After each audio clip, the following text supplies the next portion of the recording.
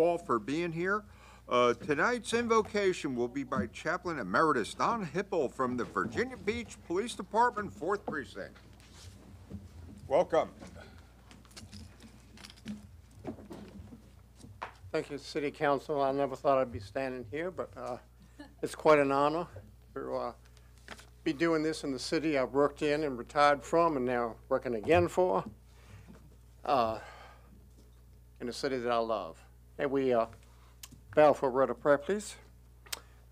Dear God, our Creator, I ask that you grant our faithful leaders tonight the assurance and wisdom as they take the task on before them.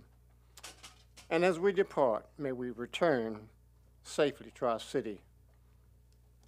And for all, may I add former council member Jessica Abbott and her health in the future. In your powerful name, amen. Amen. Thank you. Pledge of Allegiance.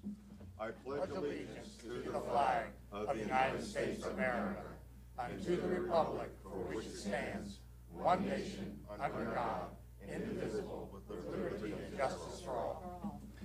Thank you all very much. Okay, Madam Clerk, do we have the roll call? Yes, Your Honor. All present. All present. Okay, at this point, I call for a motion for the certification of the closed session. So moved. Second. Move in a second, okay, yeah. Vote is open.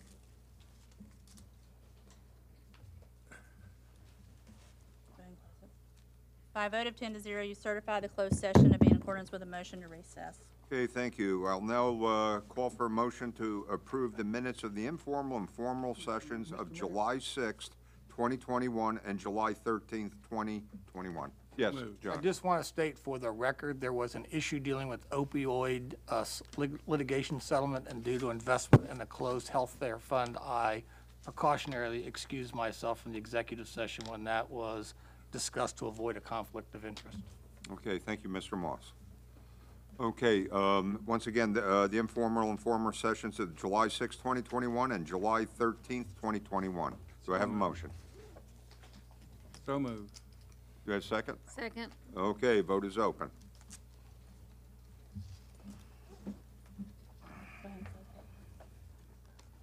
By a vote of 9 to 0, Councilmember Berlucchi abstaining, you have approved the minutes as submitted. Okay. Uh, Now, uh, we will have a public hearing on the polling place changes.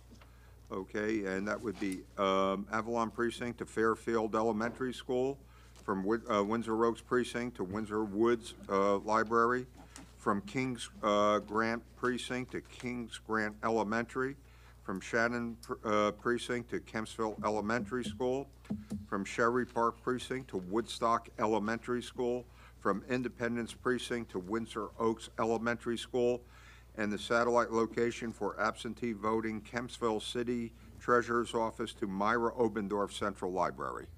You have two speakers. The first speaker is Barbara Messner. And after Ms. Messner is Stephen Johnston.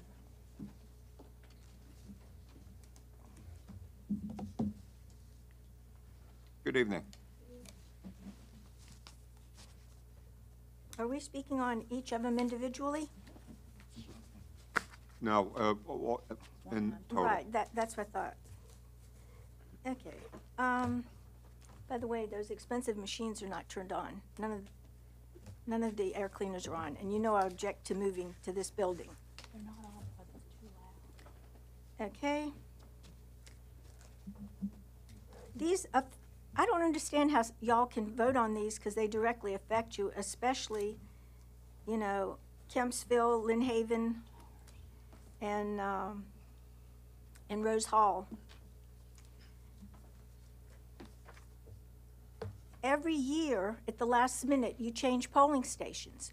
We need permanent you have permanent buildings, you have permanent places for everything else, and um,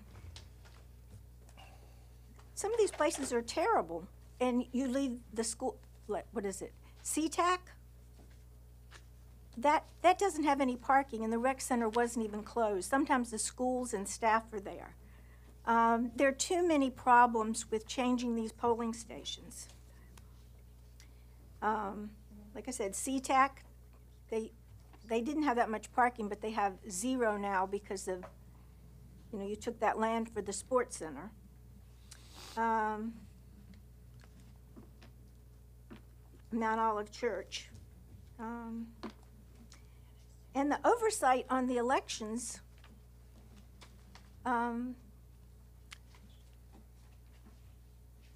is with one of the partners with Kaufman and Canoles, which is a major conflict. Um, we hired Kaufman and Canoles for 20 years of, of work.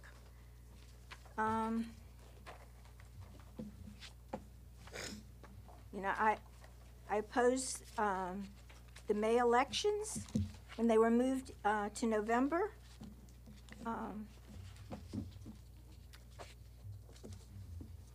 and if if y'all are gonna run as nonpartisan, as independent, and then you take money and you have all these signs, I just think the entire system needs to be uh, revamped with input from the citizens. Thank you. Thank you.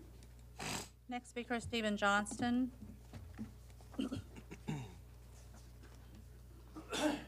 Good evening. Good evening, Mr. Mayor, members of City Council. Um, My name is Stephen Johnston. I am involved in the issue of relocating the uh, Windsor Oaks precinct to Windsor Woods Library. I used to be an elder at, when it was Bow Creek Presbyterian Church. I'm- I know a lot of people in that, in that voting precinct. The- The location presents a lot of problems. It's a poor location. Uh, The entrance is, the main entrance is shared with the fire station and the EMTs next door so that'll add to the congestion. The exit is a single lane exit only. The enter and the exit, you go from South Plaza Trail, which is adjacent to Rosemont Road, which is highly congested in the morning and in the afternoon. Um, like you would expect, Rosemont Road has priority over South Plaza, so the lights run longer on Rosemont than they do on South Plaza Trail, causing an average backup during normal days. On a poll, on an election day, the backups will just be horrendous. The, the library only has about 30 parking spaces, and it is a shallow parking space. So pulling into and out of the parking spaces will present a traffic problem, causing more backups onto South Plaza Trail. There's only about 30 parking spaces there, so only 30 people will be able to get in and vote at a time. And I think everybody should be able to vote. There's no place for curbside voting. You can't do it in the entrance, that'll interfere with fire, re- fire rescue services. You can't do it in the exit, because it's a single lane exit, nobody could get out. You Can't do it in the back parking lot, because that'll interfere with traffic flow through the parking lot. There are better locations in the area. Um, St. Francis is right down the street. It has access to a side road. Um, then across the street is the Red Church, used to be Bow Creek Presbyterian Church. They have a large parking lot, they have large facilities. I don't know if they've looked into those since COVID has started, and everybody's starting to reopen up. And I can see why some of the churches last year would be hesitant, but with everything opening up, they should be able to open up now. And I understand this isn't driven by the Windsor Oaks voting precinct. It's driven by um, the Independence voting precinct. The Independence voting precinct lost their polling location at the Waterside Church. And I think there are several options available to lo- relocate the Independence thing from Windsor, they're going to Windsor Oaks Elementary School, which is a good distance from that precinct. And I think that would present a, um, a pediment to people voting from the independents having to travel through the other district to get to their voting polling place. Thank you Thank you very much. very much. Appreciate it. Okay, Mr. M- uh, Moss? No questions for him, but Mis- I just, Mr. City Manager, do we have someone here later when it comes time for voting that we can address our questions to as to the, to the parking and the number of people registered? I just want to make sure that that person isn't here, that maybe they could be here. I, I see the general registrar, voter registration. Super. record. I will hold my questions till the vote. Thank you, Mr. Mayor. Okay, thank you. And thank you. I, I have the same, I had the same question. I appreciate it. Okay, um, at this fo- uh, point, we'll move forward, and I want to, uh, we're going to read this uh, scre- uh, speaker's policy. I want to remind everyone that the city council speaker policy that allows certain representatives or groups to speak for 10 minutes applies only to planning items. All other speakers, whether speaking individually or on behalf of a group will have three minutes to speak. Speakers are reminded that the comments during the, um, the- the formal portion of the meeting must be limited to the subject of the item being considered by council at the time you are called. When speakers are called on each item, the clerk will call for those individuals who have signed up to speak. We have several items with only one speaker signed up. As such, the city clerk will call the speaker and identify each item they have registered on. The speaker will receive three minutes to comment on each item. Again, the speaker must limit his or her comments to the subject matter of the items that have, have they have signed up to address. Finally, I have called upon all speakers and all persons in the chamber to be civil in their discussion and decorum. Whatever views you hold and wish to express, the city council wants to hear from you and ensure that all viewpoints and all persons are respected. The best way to do this is for all of us to strive for civility and respect. Okay, at this point, are there any uh, one-item speakers? So just to clarify, um, ordinance number one is being pulled now from the consent agenda. We only have one speaker signed up under the ordinances, but just, Okay, so we're going to be Is- is pulling uh, number one. Is, is that the will of the council to pull item one? Or did you just have a question about the park, the parking lot? I think you should pull item one. I was gonna pull, right, let, we'll pull it. let Michael, since I believe that's his district, I was gonna let him carry the day, but I'd back him up. okay, Okay, thank you. So, okay, so uh, that, that it would be items two and three. Barbara Messner, Okay, this is just for ordinances, um, uh, the polling places? no ma'am, if you'll come to the lectern, I'll let you know. These are ordinances numbers two, three, A, B, and C. Let's just do two at a time, okay? Two, two and three, A, B, and C. Okay. Okay. So, I thought, uh, polling changes, that was public hearing, and then the ordinances was next. We pulled it, we're going to I hear know. it. But, see, that, that's one of my objections, is you changing the printed agenda. Hasn't been- This, It there hasn't been changed, Mrs. Messner. Uh, You know, it- we took it off the consent agenda, that was the action that we took. all right. Um, Item two, resolution to appoint uh, Robin Riddick to the position of Deputy City Clerk Two, effective July fifteenth, twenty twenty-one. Um, You know, a lot of the, the meetings, they're not, they're not properly advertised. A lot of these meetings um, are not legal. They're not properly signed or notarized. And um, I think we, anytime you, I thought that the uh, city clerk appointed um, her staff, but why do we need a paralegal, a trained paralegal from Chesapeake for the city clerk position? And I assume she's taking the place of um, Paige that moved over to the Economic Development Authority? And I just want to remind people that the city attorneys give opinions and they work for city council. Um, They don't give legal rulings, and a lot of these ordinance changes that were moved to planning and allowing people ten minutes to speak, you know. um, I, I just object and, um, you know, I'm surprised that any, any of the clerks want to work all the hours in overtime, whether you pay them, you know, overtime or not. Um, You know, there's been a lot of meetings. All right, and, um, Item number three. Item number three. Okay. Ordinance to accept and appropriate from Virginia Department, um, Behavioral Health Development Services, uh, to the 21-22 Human Services Operating Budget. This is COVID money. I've never seen so much God bless you. so many multi-millions of COVID money used um, to fill vacancies. I think this was almost $2 million for 12 full-time positions Uh, I don't know how many people here remember baby Braxton Bless you. um, that was murdered in foster care. He was beaten to death, and there were a few changes made. But we need a lot of changes. It's not the money. The money doesn't fix flooding. The debt doesn't fix flooding. Leadership and priority are what fix flooding and crime and every other problem that we have. And y'all all get an F grade. Um, so a lot of these are just social services programs. We have too much government, and the COVID money should be helping people who are out of their homes, who need help with medical. It should go directly to those people, not through government.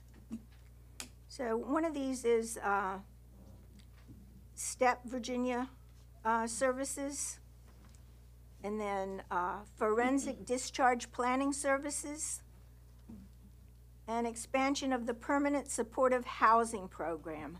We have a major, major problem with housing. Why you keep Andy Friedman in there? And, you know, uh, we don't have affordable housing. You keep taking it away with short-term rentals. And, um, and there's, there's blight, there's problems in the neighborhood. You, you patrol certain neighborhoods, high-end neighborhoods. Um, So, you know, like I said, the- the COVID money and, uh, speaking of COVID, okay. I don't know where your camera is this time, you move it around. But you have not stopped crowds. This is the crowd Memorial Day weekend. Look at these people. They stay in the hotels, they go to grocery stores. You know, people in, in the hotels and the elevators, you don't know who these people are, and you're, you're using COVID money for some of them so they can go to the sports center. These people were, were resting in the sun. Thank you in the very shade. much. Okay. Thank you. Okay, Madam Clerk, are there any uh, one-speaker uh, planning items? All planning items have been pulled. pulled. Okay, all plannings are pulled. Okay, at this uh, point, Mr. Wood, would you kindly do the uh, consent agenda? Mr. Mayor, move for approval under the consent agenda under ordinances and resolutions. Item two, resolution to appoint Robin Riddick to the position of Deputy City Clerk Two effective July fifteenth, twenty twenty-one. Item three, ordinance to accept and appropriate from the Virginia Department of Behavioral Health and Developmental Services to the FY 2021-2022 Human Services Operating Budget. A, $261,080, establish three full-time positions and $70,000 in Medicaid revenue, raise STEP Virginia services. B, $272,310, and establish three full-time positions, Ray Forensics Discharge Planning Services. C, one million, one hundred fifty-eight thousand, nine hundred thirty-six dollars, and establish six full-time positions or expansion of the permanent supportive housing program. So moved, Mr. Mayor. Okay, we have a motion, do we have a second? Second. Okay, any discussion? Vote is open. By a vote of ten to zero, you've- you've approved the consent agenda as read by Vice Mayor Wood. Okay, moving back now to uh, ordinances resolution, item number one, ordinance to amend the city uh, code sections ten one and ten one point one, Ray polling uh, changes, locations, and direct the city attorney uh, to vote the registrar at the, uh, for uh, pre-clearance for such changes. Um, Barbara Messner,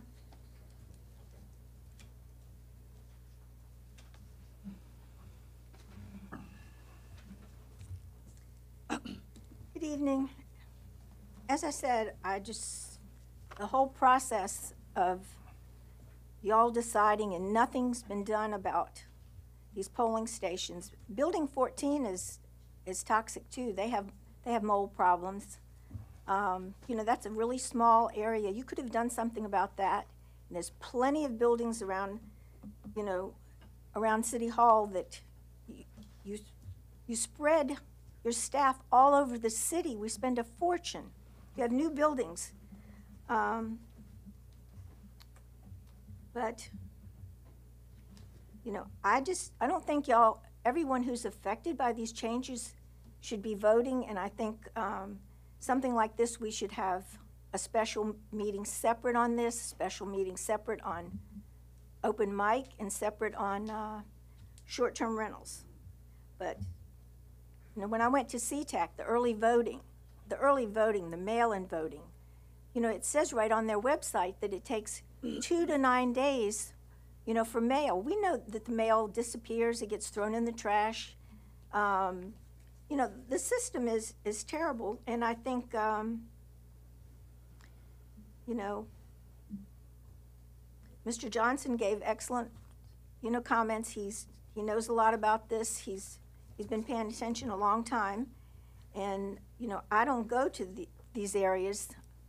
You know, I do know about, uh, you know, that this changes all the time, all, every year. And people are out of town, out of the country. You know, some people are sick. Everybody doesn't know about these last minute changes. Uh, Thank you. Thank you. That's all the speakers, sir. Okay, so at this point, um, you know, Mr., okay, Mr. All right, Berlucchi. yield to Berlucchi first. Thank you, Mr. Mayor. I, I wonder if um, Ms. Patterson or Mr. Marks would um, be willing to come up to uh, just share some reflections about um, particularly the item B, Windsor Oaks Precinct to Windsor Woods Library. And if I may, just um, share some of the concerns that I have that were raised today that hopefully you, you can address. And, uh, and, um, and, and that's just to say that I agree with what Mr. Johnson said. Um, his, his observations about the Windsor Woods Library and the restrictions on parking as well as ingress, egress, capacity, um, as well as Rosemont Road, and a number of the other points he made were, I think, astute observations, and certainly in the environment where we have seen increased turnout in voting, and I know um, the precincts are, in some cases, overwhelmed by voters, particularly on Election Day, and maybe that has changed with early voting and, um, and some of the new, um, some of the new methods that people are able, in mail voting as well, but still, I think that there are valid concerns, and I wonder if you have any reflections or um, if you've given consideration to, to the, um, to some of the issues that Mr. Johnson raised, and uh, I would appreciate your sharing that information and insight. Mr. Berlucchi, um, and thank you for your comments. Uh, Again, I'm Jeffrey Marks, I'm Chairman of the Electoral Board. With me is Ms. Donna Patterson, who's the uh, registrar. Um, I'm going to defer to Ms. Patterson in terms of exactly the site visits that she did with respect to this particular precinct, but one thing I'd like to point out is that our options are somewhat limited. If you look at the six changes we made, um, four of those were situations where the, the, the voting, the polling station was at a church. And for various reasons, the churches have declined to participate in the voting process in the last year or two, uh, particularly because of COVID reasons, some, and some other particular reasons. So our options have become limited. I know Mr. Johnson mentioned a couple churches nearby. I don't disagree with them, but those just, frankly were not options as far as as far as we know. So, what we've ended up with, again, if you look at the six new precincts, these are all uh, municipal, uh, basically they're schools, or in this case, is a library. Um, so I don't I don't disagree with Mr. Johnson, but it comes down to a situation where we're limited in terms of where we can uh, have these polling stations, and so we do the best we can with a limited universe of options. Um, so that, I, I, I think that addresses your question in more of a broader sense and maybe at a ten thousand foot range. I'll defer Ms. Patterson in terms of the actual boots on the ground when her team went to the, um, library in particular. I guess you're focused on the library and what she did there, what the team did to, um, determine that was the best possible outcome or best possible solution for the, for the uh, Windsor Oak, um, district. One thing I'd like to point out also, if you notice, Windsor Oak Elementary is now the, the voting, um, station for the Independence Precinct. So it was, we had to move some things around, and that's how we ended up with Windsor Woods Library. Yes, thank you. Before Ms. Patterson speaks, I had a question for Mr. Marks, if I could. When you looked at the site, obviously, that is a diminished capacity t- from what the citizens had at their prior precinct in terms of access. Would you agree? The amount of parking space available at the prior voting site before we relocated it was greater than Windsor Woods? Mr. President, I can't tell you the number of parking spots at Windsor Woods Elementary School, but I would, I would I'm venture to sure guess it's that. more than 30. I- I They would- probably I have would- 30 people yes, in the sir. office. But the, uh, so I'm asking this from a citizen's point of view, and I'm the Attorney General looking for pre-clearance. I'm thinking, have we disadvantaged, and does the site itself discourage voting? And that's what I'm wondering. Did the board, in bringing this recommendation forward, have any discussion with the Attorney General's office at a staff level preliminarily to say that the site is, given it's so much smaller, how many, and she'll get later, that it, in and of itself represented a source that would discourage people from voting just on a basis of access, and therefore you have problems with pre-clearance? I'm just curious what kind of staff work took place in advance, or what did the board think about when they saw that diminishment of capacity? And as I said, uh, Mr. Moss, I'll defer to Ms. Patterson in terms of the boots in the ground. Um, In terms of the Attorney General role, uh, as, as the, as the City Council is aware, what would happen to the extent that the City Council approves this ordinance, it then goes to the Attorney General, and they do a final review in terms of the, the uh, issues that you're addressing. Uh, The board did consider uh, this, these, these changes. The board as a whole voted on this, I believe at the June board meeting, which is an open meeting. Uh, Everyone except when we have go in the closed section is open to the public, and, and we do have observers. So, again, we evaluated the situation. I, I can't tell you that we went and, and- and, and counted the number of parking spots as it relates to uh, Windsor Woods Library and Windsor Woods Ele- Elementary School. Again, we're, do- we're using, we're, we're selecting from the universe of op- options that we have. I'll wait for Mrs. Patterson's remarks, and I'll pursue my line of questioning. Thank you. Thank Thank you. Thank you, Michael. Welcome, Donna. Thank you, thank you. Um, we did, one of the things we were avoiding is having shared polling locations, which we had to do, um, before. So that's one of the things we were avoiding is sharing the polling location because we found that the shared polling location causes a significant amount of confusion. And so, like, um, Mr. Marks was saying, we have a limited amount of places. We are not here to cause any voter confusion by any means, but we have a limited amount of places that we can select as polling places. Um, we've, we, most of the churches that we contacted still are not fully operational, or they've chosen to not be polling locations. So there's no, we do go out there, we look at the ingress, the egress, and we've, we have figured out a way, we feel, to make the library work for the upcoming elections. And we feel that that solution is better than sharing polling locations. Um, because when you're sharing a polling, a facility, that has, that causes a significant amount of voter confusion. Now, um, also with ear- early voting, you do find that more voters vote in before election day than on election day.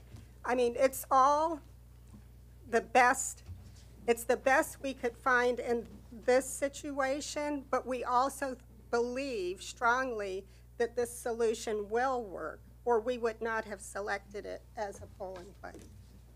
I have some more questions Okay. after Mike. but go ahead. Okay, uh, we go uh, Guy Tower and then uh, Mr. Berlucchi. I just had a question, Ms. Patterson, about the specific, about Mr. Johnson's concerns about the um, curbside voting, if you could speak to that. Yes, and- we have checked, and I, f- we, we have found a solution for curbside there.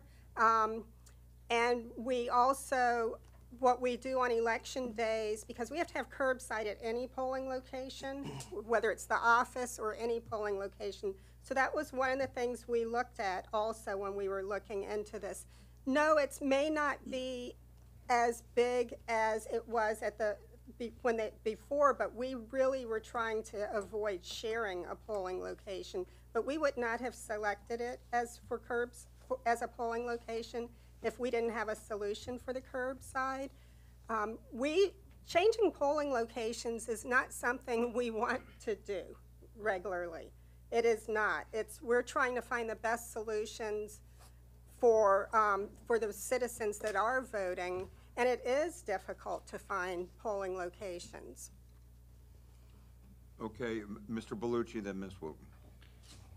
Uh, Ms. Patterson, let me just begin by saying I have the highest respect for the work that you and your team do, as well as um, the work that Mr. Marks and the Electoral Board do, and I, an appreciation for your work. Thank you. I know that it's not often not easy, and so I, I do have a, a great deal of respect for the position you're in.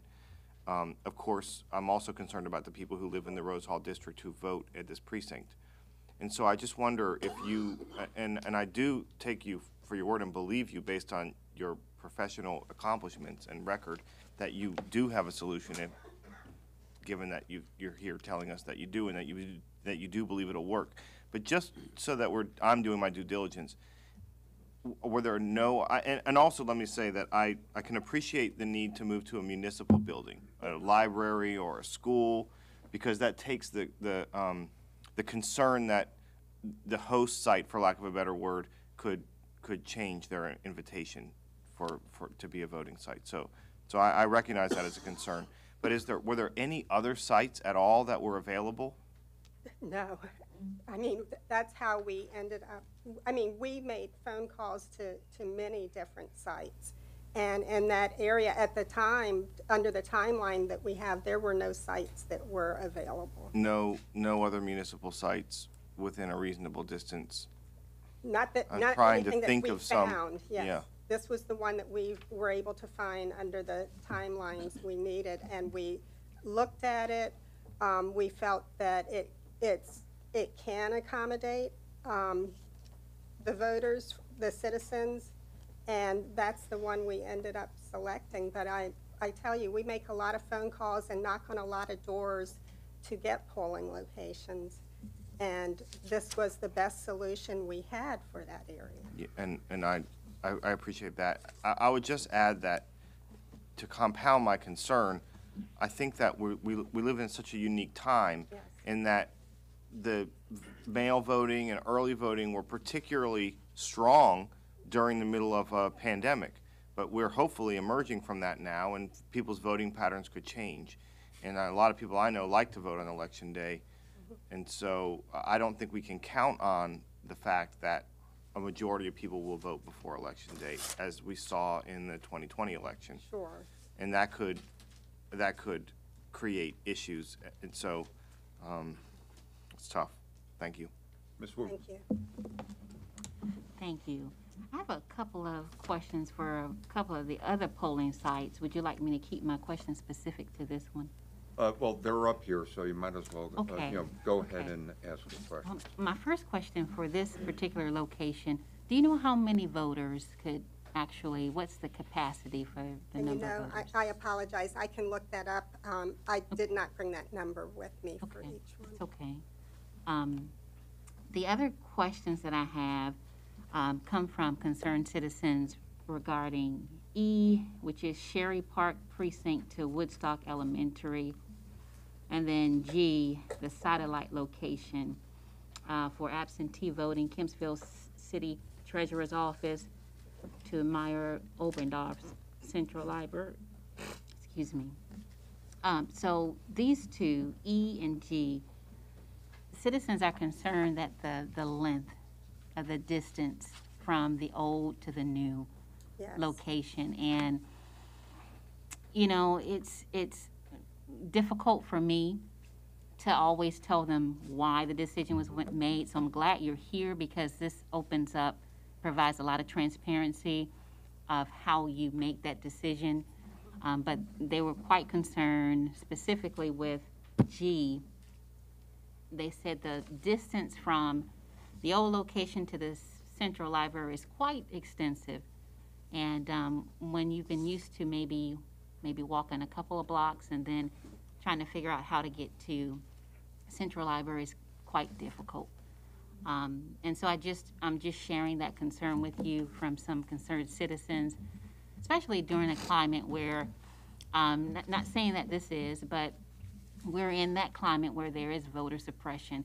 And the first thing some people do think of when they see this, the change, is this is going to be difficult. Why are they making it difficult? So I appreciate you taking the time to address those questions, but those are valid concerns from several residents that I talked to regarding those areas. Thank you, um, Councilmember Wooten. Uh, I just wanted to address the change to Central Library. Sure. Uh, The treasurer's office um, was quite small in November, and it was one of the locations that we had some of our longer lines. And we took it as an opportunity when we were able to, first of all, they're going, that building, we won't be able to use it real, very soon anyway. Um, We're, it's, we're at the end of the use of that building. Um, But when, so when we were looking at locations for satellite, as we change any of our satellite locations, we're looking for facilities that are quite much larger because of the early voter turnout.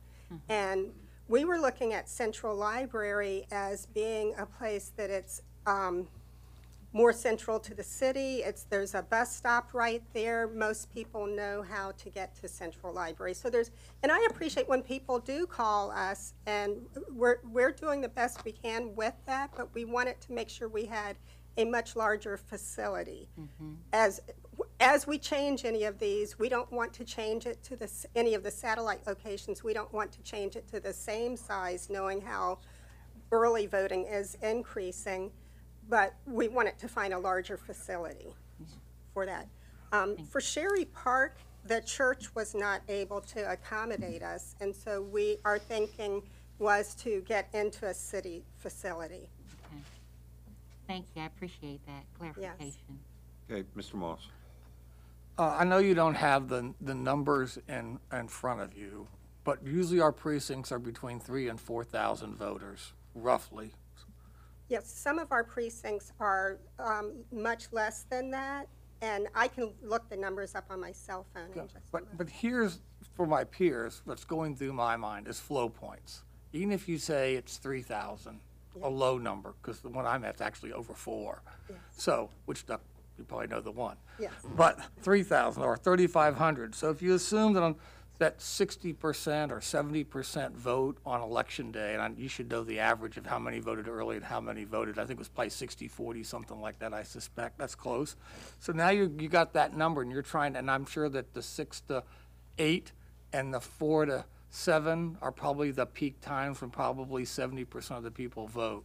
That's just been my poll worker experience. So you walk that back and look at 30 spaces, and you start thinking, can that flow point really accommodate that? Is that an executable rotational movement?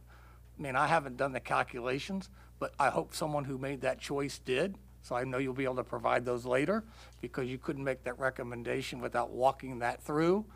And, and I suspect that if you don't get people voting early, and if this is a presidential site, you have problems. It's not executable. So even if this is where we go today, which I'm, if I was the Attorney General's office, I'd be giving you a very difficult time on saying this doesn't, in of itself, look like it suppresses voting just by the logistics support of the site. So that, that does concern me. But did you look at the option or consider the city of looking for vacant commercial shopping center space and uh, pay, us paying a temporary lease for a month or 45 days like the Halloween people do and operating out of a shopping center which has lots of parking lot. Did you look at commercial sources? I have not looked at that for polling places, no, and that might be the future of polling places as we find we cannot be accommodated in the right size facilities. Well, well, maybe it's the option that we should be pursuing for the immediate, what's your deadline that you're working on? Um, Well, the way the pre-clearance is now with the Attorney General's office, um, we are pretty close to the deadline now. I Well, let me ask this, que- in the event that the Attorney General told you no and didn't, didn't give you pre-clearance, what would the course of action for the board be? I believe the course of action would be we would have shared polling location. Right, you're gonna have to have a different solution going forward. This cannot be a permanent solution. So you're gonna have to find I'm- commercial space or something, but, and, not- and presidential election year, this will not work. Mr. Moss, I'll be more than happy to look at, if, we- if the city allows us to look at commercial spaces for Election Day, and that's the route we need to take. Well, I think the real thing that should be driving, it's not what we let to do, but what we have to do in order to support the people showing up. And anyone who's voted in this city, mm-hmm. think if you went there and there's only 30 spaces, how often would you say, this isn't worth it, and you just drive on? And, and we don't want anyone, we want people to vote. Well, that will happen. I'm just telling you, that is going to happen. Mr. Ralph? Mr. Patterson, Dr. Ms. Patterson, I want to say thank you uh, for your team for all the hard work that you're doing to uh, find us these locations. I know it's the it's the it's not the, the most suitable location, but it's the best we have um, at this moment, and particularly when we're in a off-season, off-year election where turnout typically isn't that high. Um, but n- needless to say, um, this is this is the best we have to offer, and I'm sure in future elections we will find uh, spaces that are uh, amenable to our citizens and public.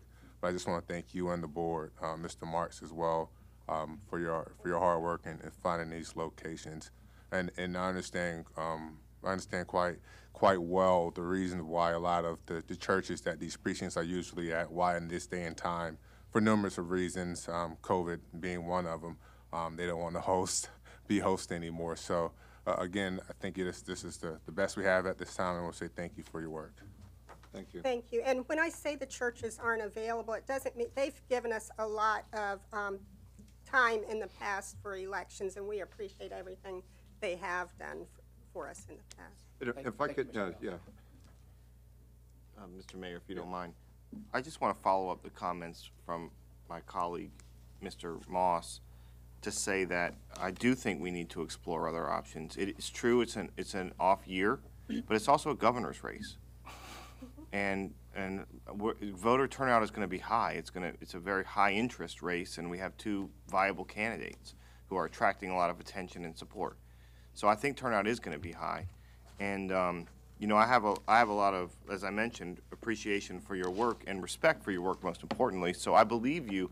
I know it's true when you tell me that you've exhausted all the opportunities that you perceived were available to you at the time.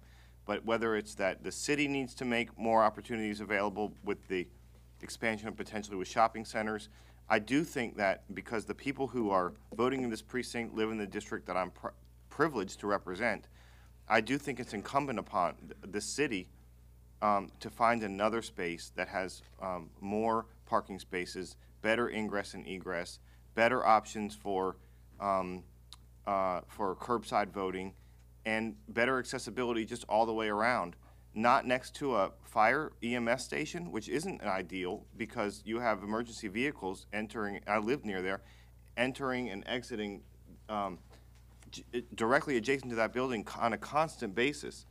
So the only way that, I'll be honest with you, that I would feel comfortable supporting this is with some assurance that this would be the only year that library site would be used. Are you available or be willing to provide such an assurance today? Mr. Bruce, if I may add, uh, just for what it's worth, it's, uh, precinct number 100 is the Sandbridge, and that is the Sandbridge Fire Station. So based on our experiences, that's not been a problem, so I don't view that as a problem. Secondly, and to Mr. No, Marshall's if point- I could just interrupt you, uh, I apologize, but it's not the fire station itself, it's the, well, maybe the same principle would apply, but it's the, it's the, um, it's the emergency vehicles entering and exiting on a, on a pretty ongoing basis. And I would venture to say that Station 16 is much busier than Sandbridge, And but I don't know that for a Very fact. well may be the case. And, and also in terms of commercial, uh, property, I think it's a great idea, but we need, but we need more money from the budget to do that. That, as you know, that costs money. I think it's a fantastic idea. We just don't have the money in the budget to do, to undertake that expense at this time. So, uh, I certainly would, I think we would entertain that. I would think it's a great idea, and, and I think Mr. Moss did a great idea on that. okay, Mr. Duhaney. Uh, Mr. Mayor, members of council, um, the planning director looked at the site, and it looks like you're adjacent to a vacant seven, seven eleven site that could possibly be used as parking overflow. You know, I think maybe one of the, um, solutions or options to help mitigate parking concerns is that we could, as staff, look to see if we can find an opportunity to possibly use that site for a, s- a s- a small temporary period of time to help alleviate some of the concerns and make the site a little bit more tolerable for the going f- on a temporary basis for this election cycle. Okay, Is that, you know? good. I Yeah, appreciate And if. I could just chime in a little bit, um, when I first moved down here, I was at Brandon. And that was a big school with a huge parking lot with no problem. Then eventually, we got the Lake Christopher precinct that was part of a very small Methodist church across the street with maybe 30 parking spaces. So, and the thing is the flow, I've, I've never noticed any real problems uh, there. And I think Aaron kind of hit on it. We got to deal with the problems that exist, uh, you know, today. And the other thing, in terms of the uh, satellite at the uh, Kempsville Treasurer's Office, in the last election cycle, the line went all the way from Dunmore all through and wrapped around the entire, um, um, you you know, strip mall there, right by the Hardee's. Yeah. And so, that, you know, that really wasn't a, a practical type thing. And I think, uh, once again, you you know, in terms of Mr. Berlucchi's thing about this being the one-year uh, solution, how is it going to be when we, you know, go to a, uh, may- you know, a 10-district system where we may have to change polls, where we have to do all these things? You know, th- th- there's going to be a challenge coming forward that is going to re, probably require perhaps a re-engineering throughout the city. Is that a possibility? Plus, the census, Your Honor, is still waiting for census data. So Yeah. That's gonna further mix this all up. Yeah, so when, you know, once again, I think, you know, we're looking at a situation now where November isn't all that far away. You have exhausted, you know, a number of options. And, uh, but once again, you know, as we get ready somehow for the 22 elections, uh, you know, which are going to be up there, but granted, it's not going to be a presidential cycle. You know, we're just going to have to work to, you know, to adapt to the new voting system that that has been imposed upon us. Now, I'm not sure if that's going to change precincts or not. I'm not yet. We, I don't think we know yet Yeah, we don't know. okay? So my recommendation is that at least we go through it, you know, um, you know, this year because they've done the best that they can. You know, we, we got to deal with reality sometimes. But I can tell you that the Lake Christopher uh, voting precinct is in a small church on, right, uh, you know- right on Kempsville Road near Tallwood High School. Very limited parking, and, uh, you know, we, we really ha, it hasn't been, e- even in a presidential cycle, that problematic. So, you know, I- Well- yeah, just a thought. With all due respect, I, I still want to go back to the question about whether or not we would be using it for this year or then finding ano- another location.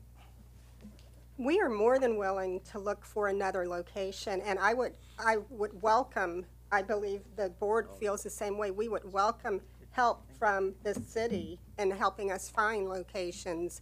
Um, So we have no problem accepting assistance with that, and I like the suggestion of what you, you said, Councilmember Moss, about a, getting a facility that's currently empty. We're- I've never gone that route, but we are very open to suggestions I- for polling I, locations. I think we're gonna have to improvise, adapt, and overcome over the next year or two anyway, so, you know, just a thought. Mr. Berlucchi, it's not about who gets it right, it's about getting it right. So I, we hear you loud and clear. And we're, again, like we've been saying, we're doing the best we can with the limited universe of options. So, uh, and, and I think, as we referred to before, and the mayor, there's gonna be a lot of changes, I would say, next year in terms of what's gonna be happening anyway. So this, just by virtue of the circumstances, this may be a one-year, one-year thing anyways. Okay? Anybody else? Okay, thank you all very much. Thank y'all. Thank you. Okay, at this point, do we have a motion? Move for approval? Second. Move along in a second. Any other discussion? Vote, moving for approval on, on the items. And close it, Terry. By a vote of ten to zero, you've adopted the ordinance. Okay, thank you all for that very robust discussion. Okay, now I'll open a, um, a public hearing on planning, item number one, Thomas A. Brown for variance uh, to section four point four uh, B and D to the subdivision regulations, rate direct access to a public street and street frontage requirements at 2888 Indian River Road, District 7, Princess Anne. Eddie Bourdon for the applicant. Welcome, Eddie. Thank you, Mayor. Mr. Mayor, Vice Mayor, honorable members of City Council, for the record, my name is Eddie Bourdon. I'm a Virginia Beach attorney, and I'm coming before the council tonight representing Mr. Thomas Brown. Mr. Brown is in um, attendance uh, this evening.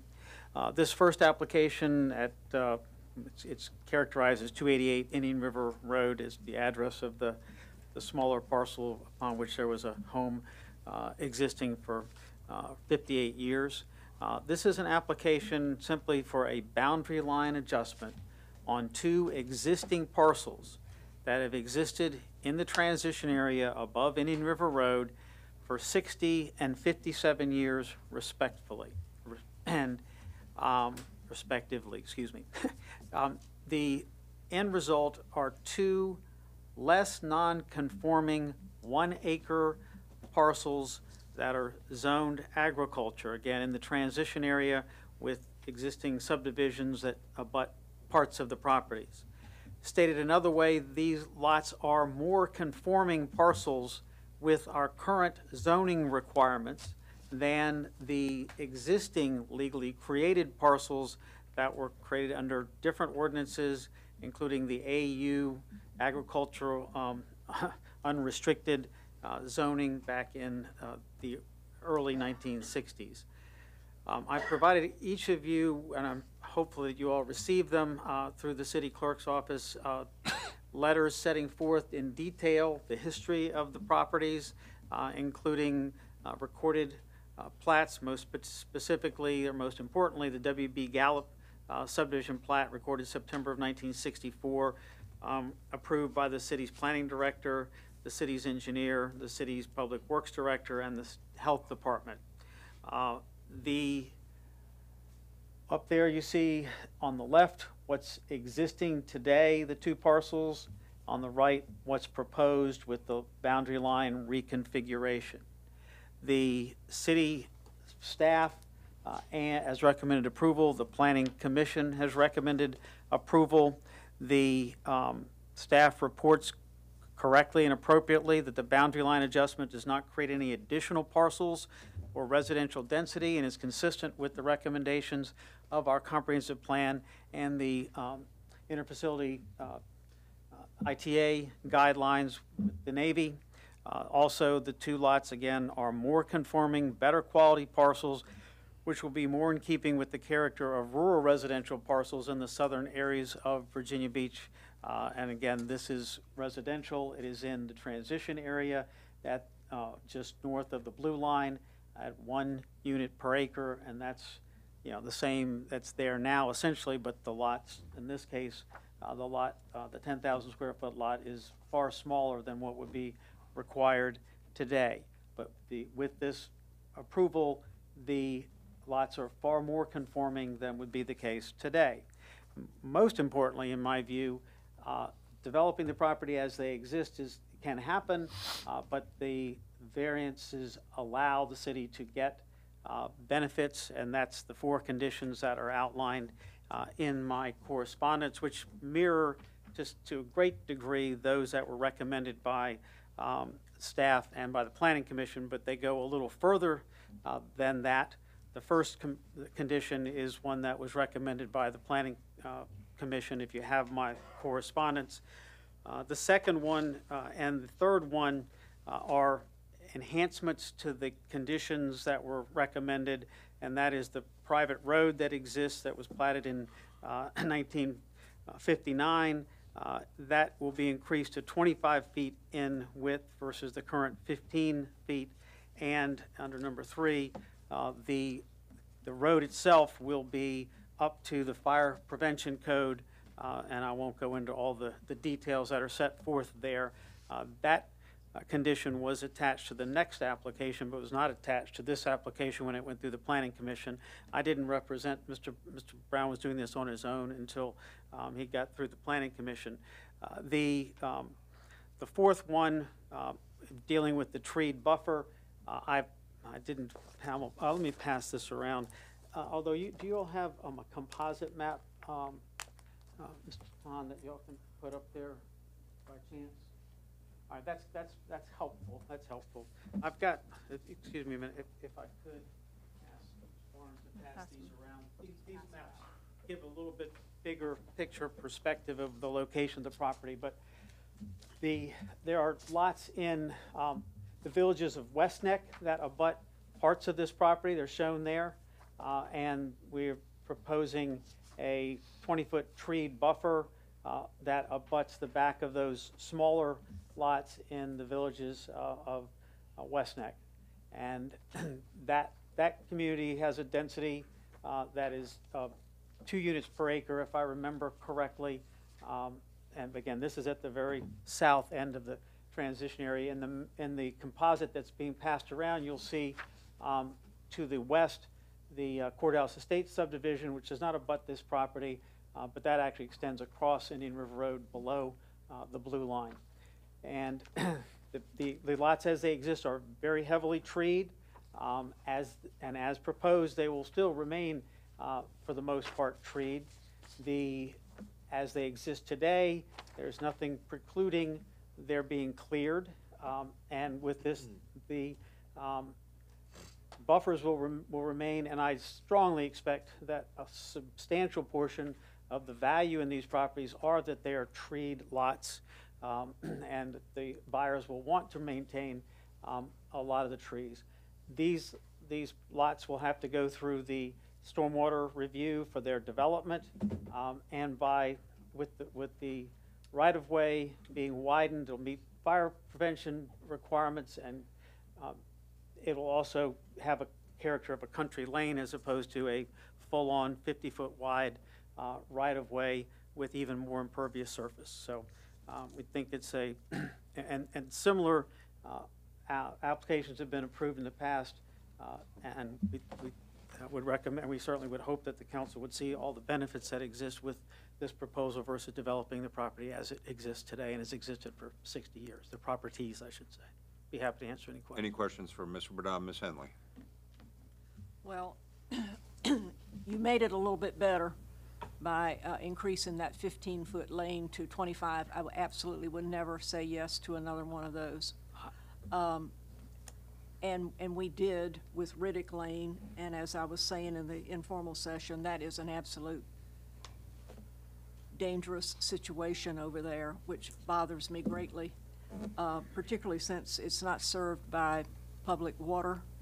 Uh, Are these not going to have uh, water? They're going to They, have, they will have public water, yes, They ma'am. will, And, because, and, um, and the, and the, we can't, I can't sit here and guar- guarantee it, but we're pretty certain it'll have city sewer as well.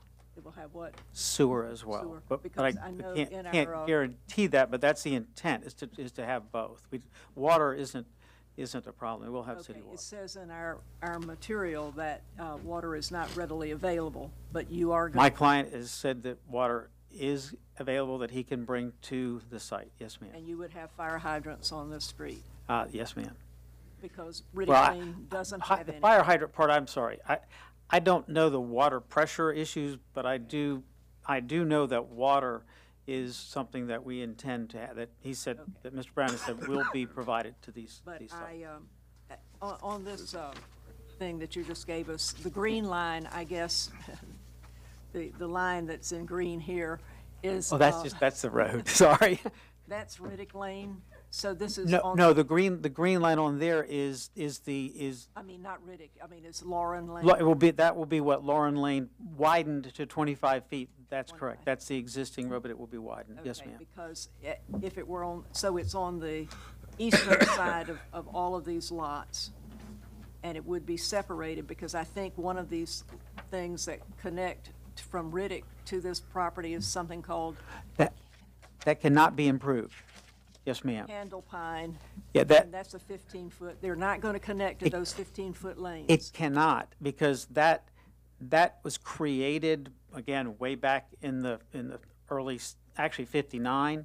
It, it goes over to, went over to a piece of property that Mr. Foster acquired and, and incorporated into um, the villages of West Neck. That, if I could, if I could leave for a second.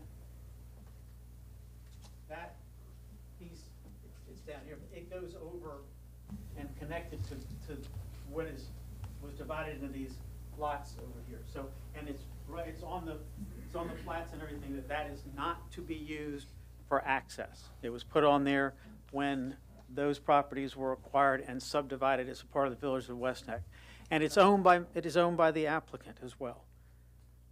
He owns that piece, that, that strip of land, and um, I believe it's going to be incorporated into the property that's adjacent to it. But it cannot be used for access. It cannot be. Okay. Yes, ma'am. And if you want to add a condition on that, on one of these two applications, no problem whatsoever. This one or the, the next one. Looking at some of these other little jib parcels in here, and I can see this repeating itself over and over again. We have a major problem here in this section of Indian River Road with these old lots now being picked up and being developed. And, um, it's already created a nightmare. And this one is better than the other one, but it's, it's not good to have all of these entrances off of Indian River Road. Indian River Road is not a good road to slow down on because it's just not a good road to slow down on and have to, to turn into a driveway. And I really hate to think you've got four, but you could do them anyway, so we don't have any choice.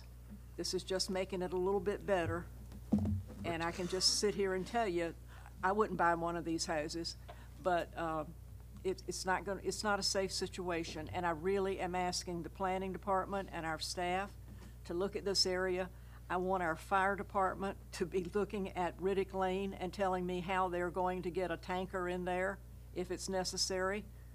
They might get it in, but they're gonna have a heck of a time getting it out. Um, and I, I, I'm really worried about this area. With, with this su- subdivision process, Ms. Henley, I, I, I, I'm not in any way, uh, I'm not disagreeing with, with your concerns. With this, there is the ability at the terminus to create a, uh, a turnaround for, uh, because it, the terminus, as, as you can see, is at this property. So there is the ability to create the ability to have a vehicle turnaround. I don't, I'm not familiar with what's at the end of Riddick. I don't know whether there's the ability to turn a vehicle around or not, but there is the ability to This do. one you would, I, I would There certainly is, there is, that, would. yes, ma'am. There is the ability to do that.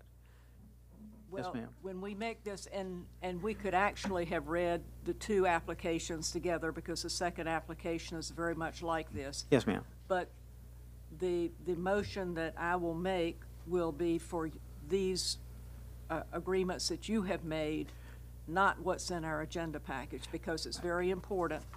Uh, and that, uh, particularly three, that Lauren Lane will be improved by the applicant with a hard surface road that conforms to the Virginia statewide fire prevention code for fire apparatus access. That's extremely important Yes, because that does not exist on Riddick. And this is, this is extremely important that, that this be in here in, in this particular fashion. So I won't use more time here to talk about these other issues, but just to say to council and to say to staff, this section of Indian River Road has got some major problems coming, and I don't know how we're going to address it, because we certainly don't have that road project anywhere in the foreseeable future. But it's not good to have all of these accesses on that road. And I think some of developers have discovered these existing lots and are rapidly making use of them, and it's going to turn that section of Indian River Road into a worse of a nightmare than it already is. But your applicant, your, your applicant, your, your, uh, Client. client has these lots, they're legal, they can be built on today. Right. What you're proposing is just going to give us some improvements over what he could put there anyway.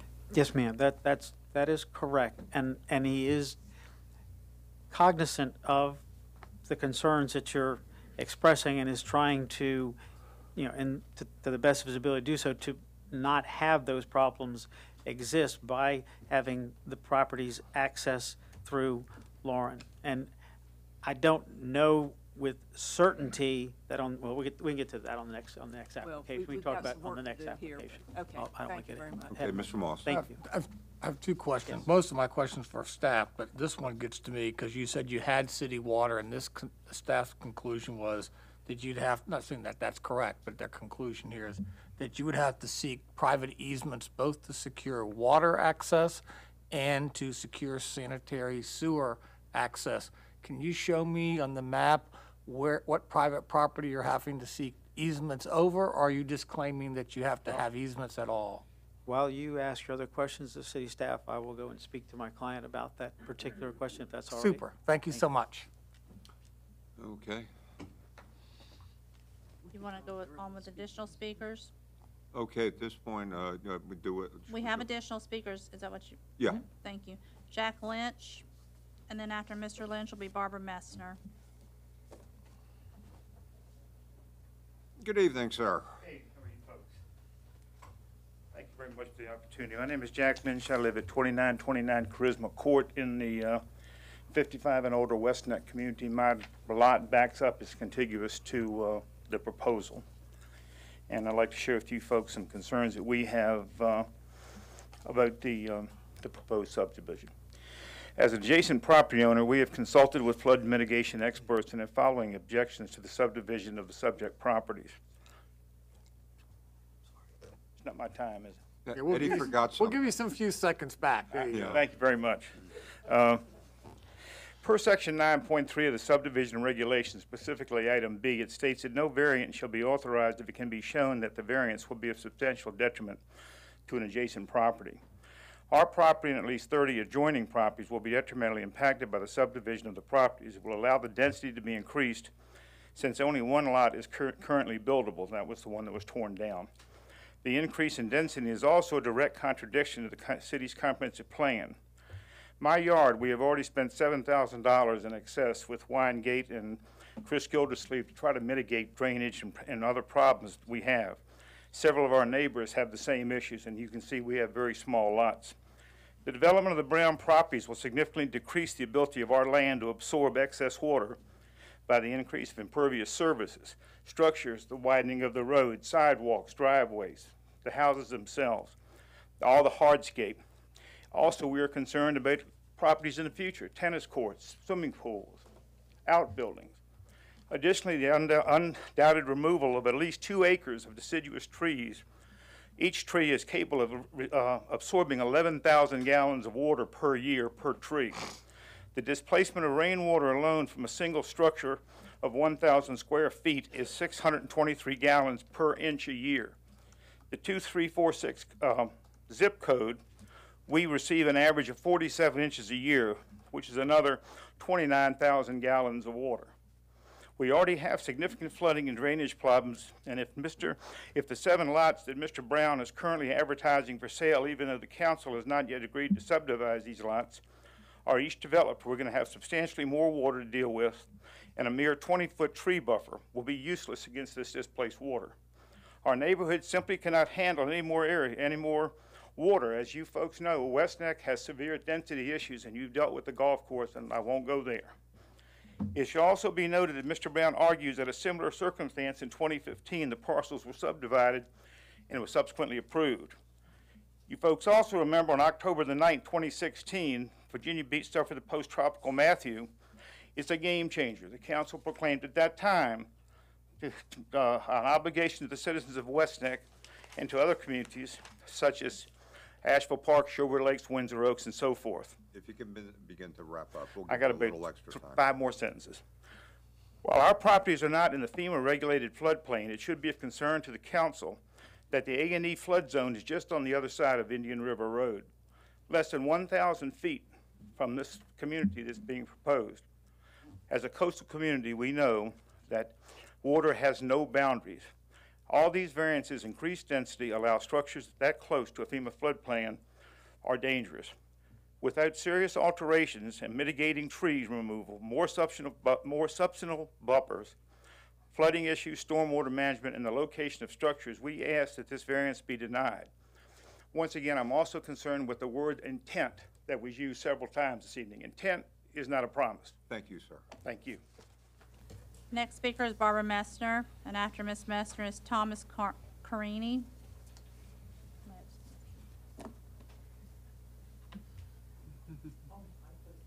Ms. Messner's first, and then you, sir.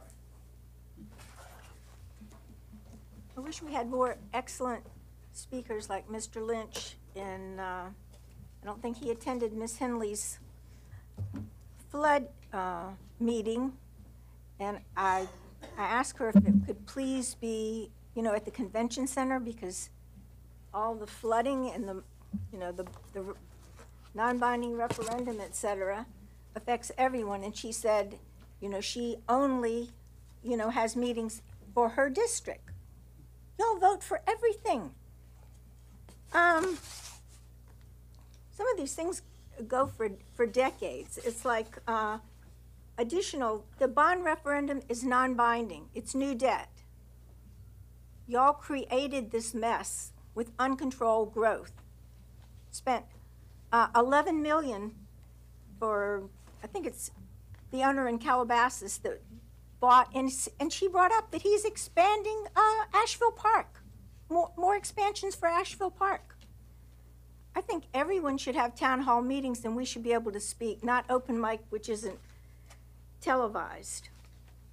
But, um,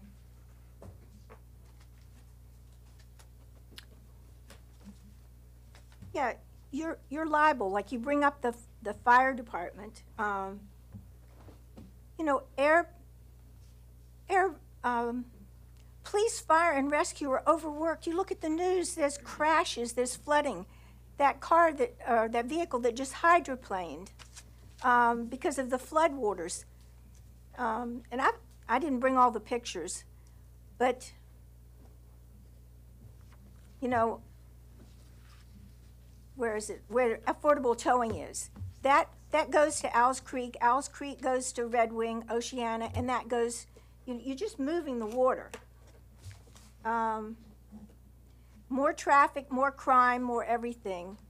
Um, you don't have to let somebody build whatever they want. Okay, and this, I also have pictures of the Smart Mouth Brewery. Where do you think all that water comes and goes? They're manufacturing and distribution for your flavored alcohol. Never seen so many fancy alcohols. Um, but this is, you know, the solutions that Ms. Henley brought up was, um, you know, raising roads. You still have the flooding underneath. You still have the problems. This is the retention pond by the sports center. It is filthy, filthy dirty. You know, it, they're giant lakes. The water has nowhere to go, and we're paying for water from Norfolk and from Lake Gaston. So you're not fiscally responsible, and no one should vote for uh, new debt for the referendum. Thank you. Thank you. Next speaker is Thomas Carini. And then Mary Ann Carini. Uh, well, you would get three minutes total. Mr. Mayor and uh, council, um, I uh, live uh, right behind this property. Uh, We're opposing Thomas Brown regarding the proposal to build homes on wetlands. Um, I live on Charisma Court, which is adjacent to that property. Removing trees create even more wetlands. We need trees to help with water problems. We have paid thousands of dollars on drainage problems, and building homes would create a worse issue. We actually paid extra for that particular lot that abuts the, the little forest behind us. We were not informed that homes would be built behind our lot. Building homes will lower our property value that we paid extra for. We chose a quiet retirement community and expect it to remain so. Certain seniors require rest and naps, and, and construction will be breaking our ordinance code. If houses were built, we would have to have a retaining wall because of the water problem. They will also have to build a retaining pond to hold the excess water. The utilities cannot run through our property gas, electric, sewer. I don't know how they're going to do that. And uh, respectably uh, submitted Thomas and Mary Ann Carini, Charisma Court, Virginia Beach. Thank you. Thank you, sir. Sir, your wife doesn't wish to speak. Is that correct? Thank you.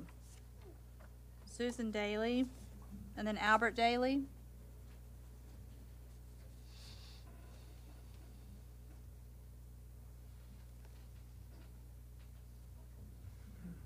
Good evening. Uh, yes, um, I live, uh, behind the property in question over here. And on a personal level, I'll be saddened by the removal of nature for the building of homes. Uh, the present condition of the surrounding land is, is the main reason that I even, uh, bought that property. Hopefully the lots will be big enough to minimize the nat, the, minimize the natural, uh, impact. Uh, Initially, it did not seem probable that any construction would take place anytime soon, as there was a pr- proposed roadway that was far back on the list of improvements. Uh, The major concern is drainage, although I- I believe I'm at the high end of the street because I'm at the very end. Um, I had to spend over seven thousand dollars in drainage and uh, flower beds to help absorb the water. Uh, the backyard was so wet, I, I couldn't even get any grass to grow. So that was another reason for the flower beds. I consider myself the lucky one on the street in that regard, although I still have some wet, muddy areas in my backyard. Just please take into consideration the drainage problem with the remo- removal of trees and the building up of land before approving a building project. Uh, As you know, the area in question is very swa- swampy with little or no access, and it's very concerning to think about more water runoff, runoff coming the way of the residents on Charisma Court. Uh, Thank you so much for the opportunity to voice my concerns um, above, on the above-mentioned property. And again, I, I don't know where they're gonna tie in for the utilities, but that would be something that I think we should be talked about, so, thank you very much. Hey, thanks very much. Ah. Susan Daly? Does she not want to speak? Okay, thank you. And then we have one uh, WebEx speaker, Lisa Clarkson. Ms. Clarkson, if you'll pause two to three seconds before beginning, you are unmuted and you may begin. Actually, I had three pages prepared um, regarding all of Mr. Brown's destruction below the green line. But since Mr. Bourdon showed up today, I had a couple questions directly for him.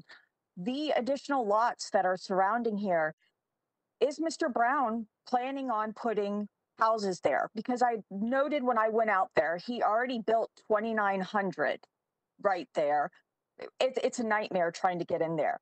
Um, I sent you all pictures in an email. He already built 2,900. There's another house over to the right that's already built.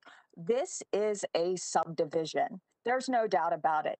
This access road is going to be used for those additional par- parcels on the right-hand side, which he will eventually subdivide and put houses on. To the right of that, you have laid out for a school. I don't know, a public private school is over there. My additional question for Mr. Bourdon, he stated that there are no regulations regarding the removal of trees. Is this not in the southern um, watershed? I, I could have swore that we have regulations regarding the removal of trees. Does he know how many trees have already been leveled off of that property? When I went out there, the drainage, he's got maybe a one foot ditch to drain all the way to Indian River Road. Indian River Road right there is eroding. It's sinking. You can look at the mailboxes and tell that they are fading away. Further, he says that this is going to be on city water and sewer, supposedly, maybe, but not documented in any of the plans that I've seen, unless you guys have something else. You cannot trust the words that come out of Bourdon's mouth or Mr. Brown because he has made so many misrepresentations regarding these properties and people are suffering. Um, as for what Mr. Lynch said with the flood zone being right across the street, actually, 2018 Dewberry study, Dewberry, the flood zones for 2015, you were notified that those were grossly understated for the southeastern portion of Virginia Beach. We flood, we keep water. I'm on the other side of Indian River Road. This is just a horrible idea. He's already, I think he got a fine for a sign he already erected in anticipation of everyone approving this.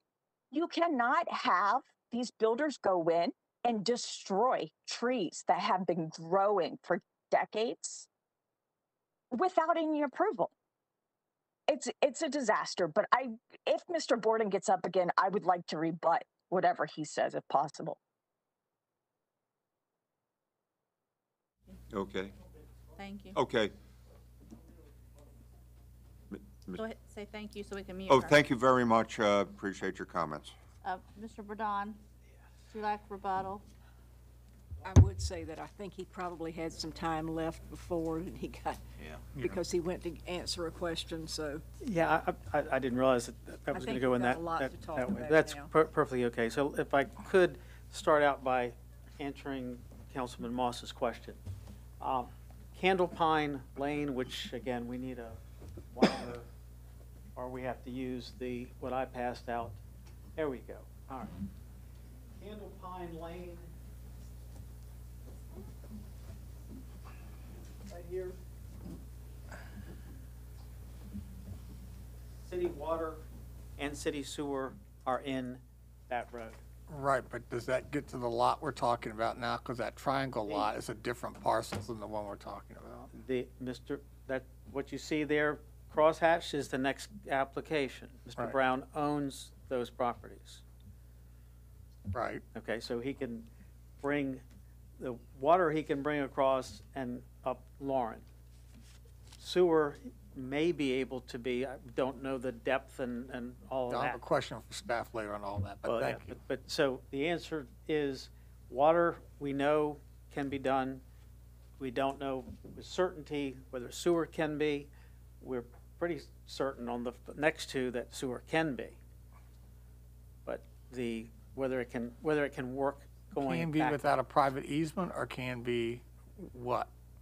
Well, he'd have, he'd have to provide an, an easement for it, but he owns the property, he can provide the Okay, easement. So he's, so it really, it's, you should be able to make that representation that you are actually going to make, since he owns the With property. water, I can make that representation. I, I just don't know sewer, what the, you know, what the, uh, the depth is of the line that's in Candle Pine. I'll So save my there's, questions for staff, but thank you very much for the so insight. hope that's of, of some, some help. Um, To, to address the idea that the property, the property is not in the southern um, watershed buffer area of 50 feet, but, you know, adjacent to a, a waterway, et cetera. Um, So the answer is, yes, the trees can be removed in the transition area and in the southern area unless they're in that buffer. This expansive idea that every tree in the southern part of the city can't be touched is, that's just not, not realistic. And um, so, um, and I won't, I won't get into the other um, characterizations that were made that are like, like Ms. Clarkson's letter that um, way, way over the top and making accusations that are not based in fact or in law. The, these lots, again, exist, can be developed, and as proposed, trying to make it better, make them larger. The houses that we built on these lots will be far greater in value than the, the houses that abut it. There's just no two ways about that. That's not, you know, trying to diminish anybody's home in the village at West Neck, but these houses will be far uh, more valuable than those, and again, at a density of one unit per acre, same density that exists today. Nothing's changes, not, not being rezoning, unlike the, the far smaller lots that are adjacent to us. And we cannot, under city code and state code, we cannot put water onto their property. And with the with plan review that these lots will go through, um, we won't be putting water on their property. And that's, uh, unless you all have questions, it's a clear betterment all the way around, and we're doing what we can do to make these high, high quality, high value, safe. Uh, and again, we can um, include at the end of what will be Lauren Lane, we can include a um, hammerhead turnaround that will meet the fire um, folks' requirements, and done that on a number of other situations. Ms. Henley. Uh, Unfortunately, I had, you know, when this was deferred in February, I had thought we were going to be having some kind of briefing that would allow all of these issues to be fleshed out before it got here, because this is just not the right place to be making these decisions, unfortunately, without this background, and particularly the opportunity to work with the uh, adjoining property owners. Now, Candle Pine Lane is one of those 15 feet wide private lanes that's got a sign that says private lane, no turnaround. I, I understand it's private, I'm, I, I can't verify, I- I'm not disagreeing with it, it may be, but it obviously has a public utility easement over it, or over it and some additional land adjacent to it in order for there to be water and sewer there, which uh, Mr. Brown is, is Did you say aware. that he owns Can- the- those properties that are developed there at Candle Pine? Well, I think he developed one or two of them, but he, my point, he owns the property that abuts the terminus of Candle Pine. because I know. And I that's the was next out there, application. I was afraid to turn onto Candle Pine because it was admonishing me that it was private and there was no turnaround. So I certainly wasn't going to venture down there. Right. That's sort of the problem out there. It's kind of a, a no man's land. Well, I think tho- those is my recollection, and I, is that those were all done, you know, by right. I There- know. There, there may have been one that they changed the boundary, but the, the overwhelming majority of them were done by right. And this one, we, rather than do that, we're trying to do a better job, create a turn. This, there won't, won't be a connection road-wise to Candle Pine.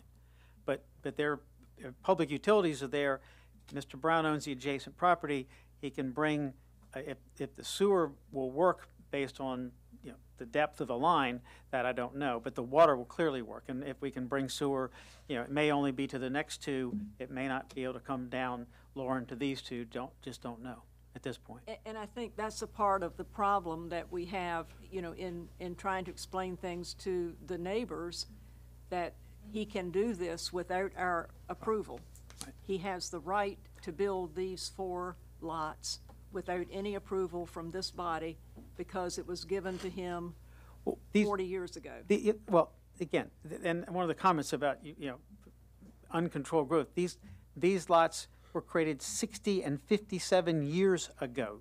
This council didn't create uncontrolled growth when these lots were created, and the uh, other next ones were even prior to that. One was in 1949, I know. okay? So, I mean, we're, tr- That was even before I went on the council. Not by much. You're on dangerous thin ice there, Mr. Well, it- I never would have that- dreamed of saying that. It, it's a, it's a, it's a bad situation that what we've got to try to do is make a better situation from it. And I'm not sure that we're prepared to do this tonight. We might need to get some things put in the right wording to do this because I would like Mr. Stiles to address some of this. But see, I'm looking at, at what, what we have here. Uh, one of your, I, I guess it's the one you passed out tonight. Yes, ma'am. Because on the other side of this Laurel Lane, I see some other lots that are existing now. Does he own any of those? Uh, yes, ma'am. He does. So Uh, that yes, means he will probably be having some of those use Laurel Lane as well. That, that would be the intent, but in that, Would be the intent. with That's it- what scares me. well, versus having them come out on Indian River Road? Well, yes, but how many is he going to have? Well, I mean, think I'm there, looking at one, two, three, four, five, probably six more lots right there. it's only three that abut, um, Um, Lauren.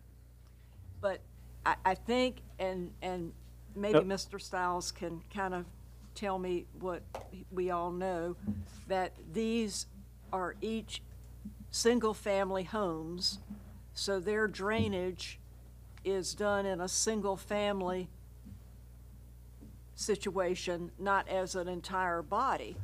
And that worries me too. But Mr. Stiles, can you address this question of what can he do today without any approval from us? And where we stand? Yes, Mrs. Henley. The only issue before the city council right now is the redrawing of lot lines.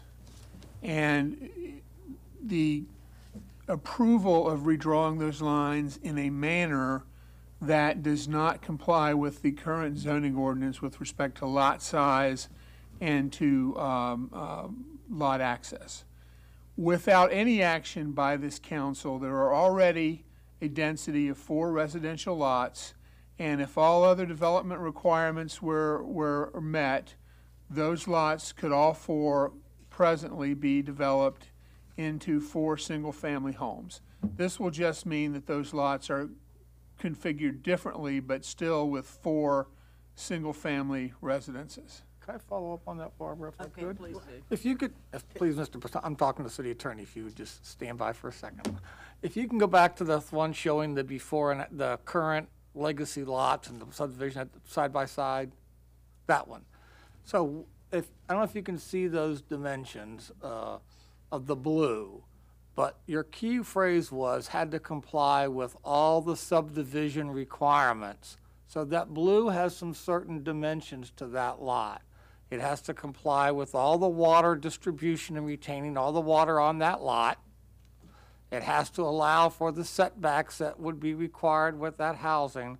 I would suggest that that wouldn't have great economic value, that little blue piece. I don't know, can't read the dimensions right from here, I think but ten thousand square feet. 10,000 square feet, given all the water issues, because I've seen what people at North Beach have gone through, and I'm sure you wouldn't get any, and they have much better drained soil. So I think the point I was making, Barbara, going to go back, is, you're not saying what we should decide, but to suggest that that lot is truly economically developable on the size that it is, that's blue, is highly questionable. I wasn't asking you, I was just asking the city attorney, but when you were saying comply with all the things, that blue parcel would have to comply with all the subdivision issues, setbacks, lot size, water distribution issues, is that correct? What, what I'm saying to you is, it is a legally existing lot at this moment. And so when a site plan was presented, it would have to comply with the site plan regulations, but if it did so, then it is a buildable lot. Oh, I could agree with that. I'm just saying its value under all those restraints is not the same as the blue value we're creating on the right. Right, so if, if, if I could add, the, the value of the larger parcel is definitely more.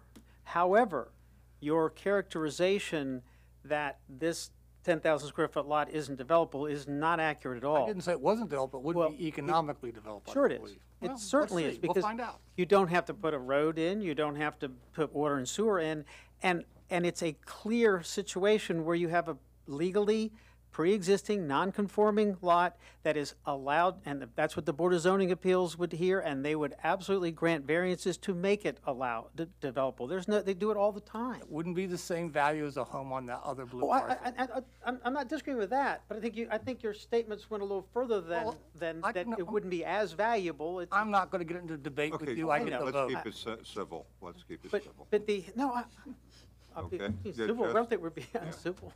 Um, the, but the, the, the point also is that, that- that, that staff has made, to make it very clear, is that what is now legally non-conforming is made conforming with this proposal, plus all of the other benefits that you, the city will receive of being safer and, and water and sewer versus developing it as it is, which is, you- these wouldn't have to, have to have, would not have to take place. That's, that's the whole, the whole point, is you're getting all these benefits. I mean, if it, but the other, the other thing is I want to mention, on the property beside it, those properties cannot be, they'd have to be rezoned, which they're not going to rezone. So there's, I mean, they can be developed if they're developable and they're legally existing, but there won't be more of them.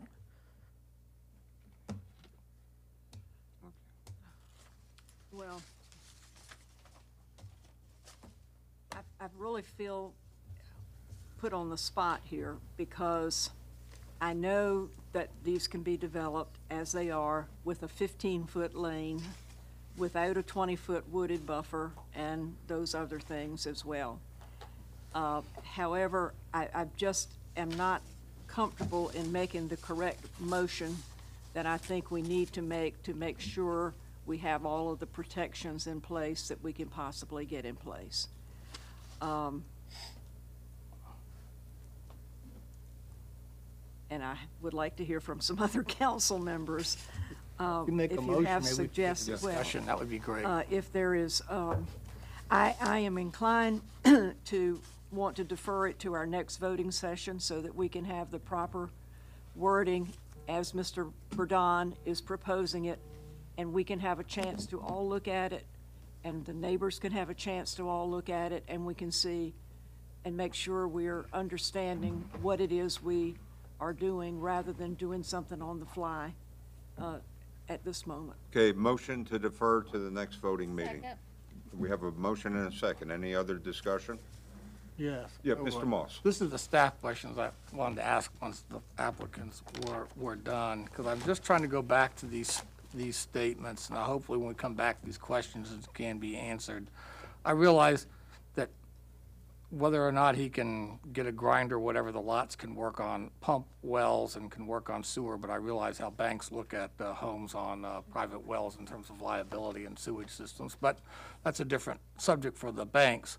But I would like to understand exactly clearly more about what would be the requirements for connections, what's the pressure requirements they would have to meet from public utilities, how they now would have total responsibility for those water lines that leave, you know, just what are all those things so that we're not taking on any municipal liabilities at that interface between where the city stuff is on that lane versus what he's now extending onto his property, that there ought to be a demarcation point. How does that all work, and how do we make sure the check valve and how all that interface would take place, and where the liability would lie, so when people say, hey, I don't have water pressure, I don't have this, I don't have that, they're, it's very clear that the city is not responsible, and that's well documented.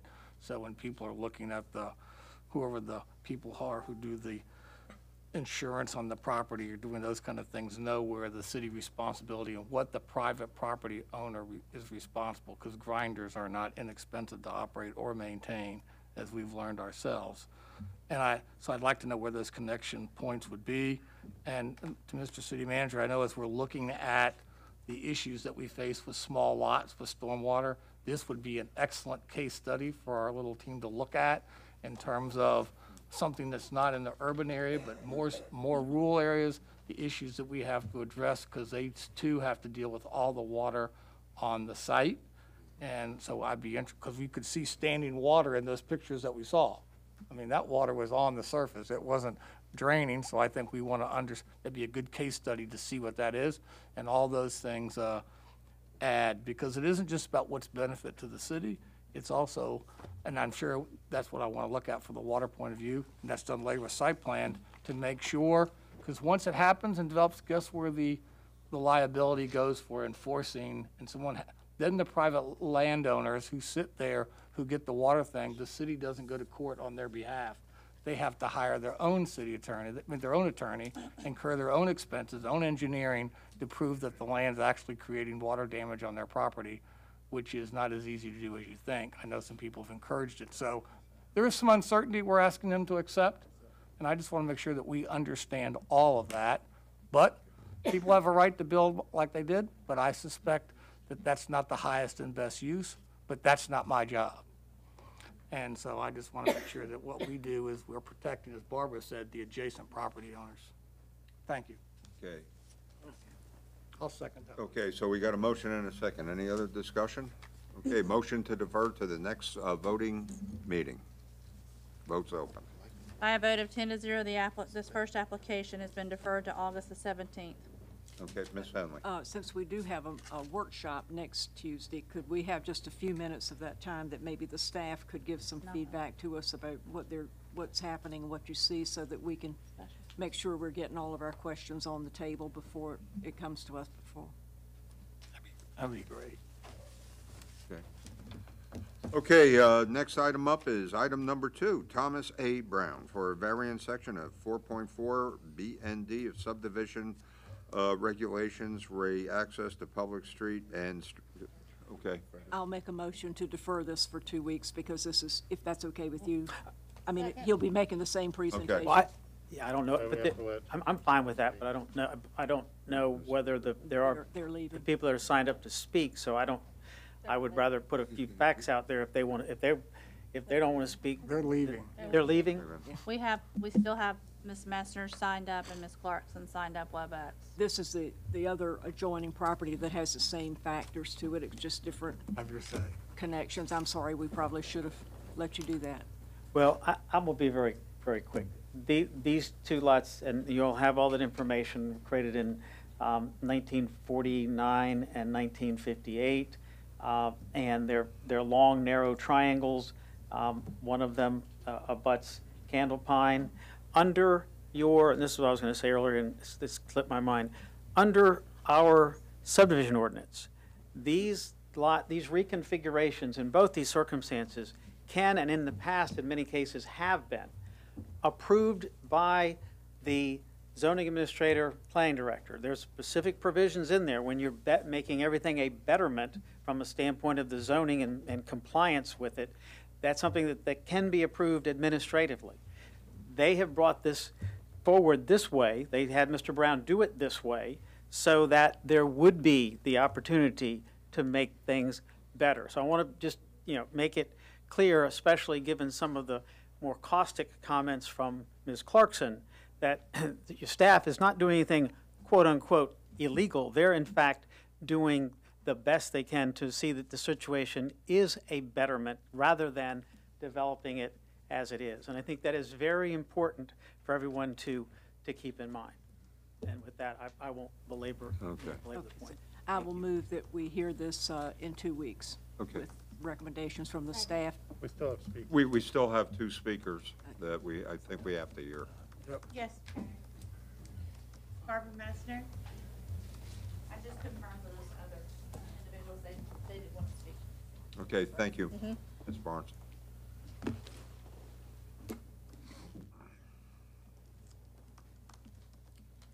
Ms. Clarkson brought up a good point that I've brought up numerous times and I've sat through. You know, these people come up when it's their backyard. Very few people have time to pay attention.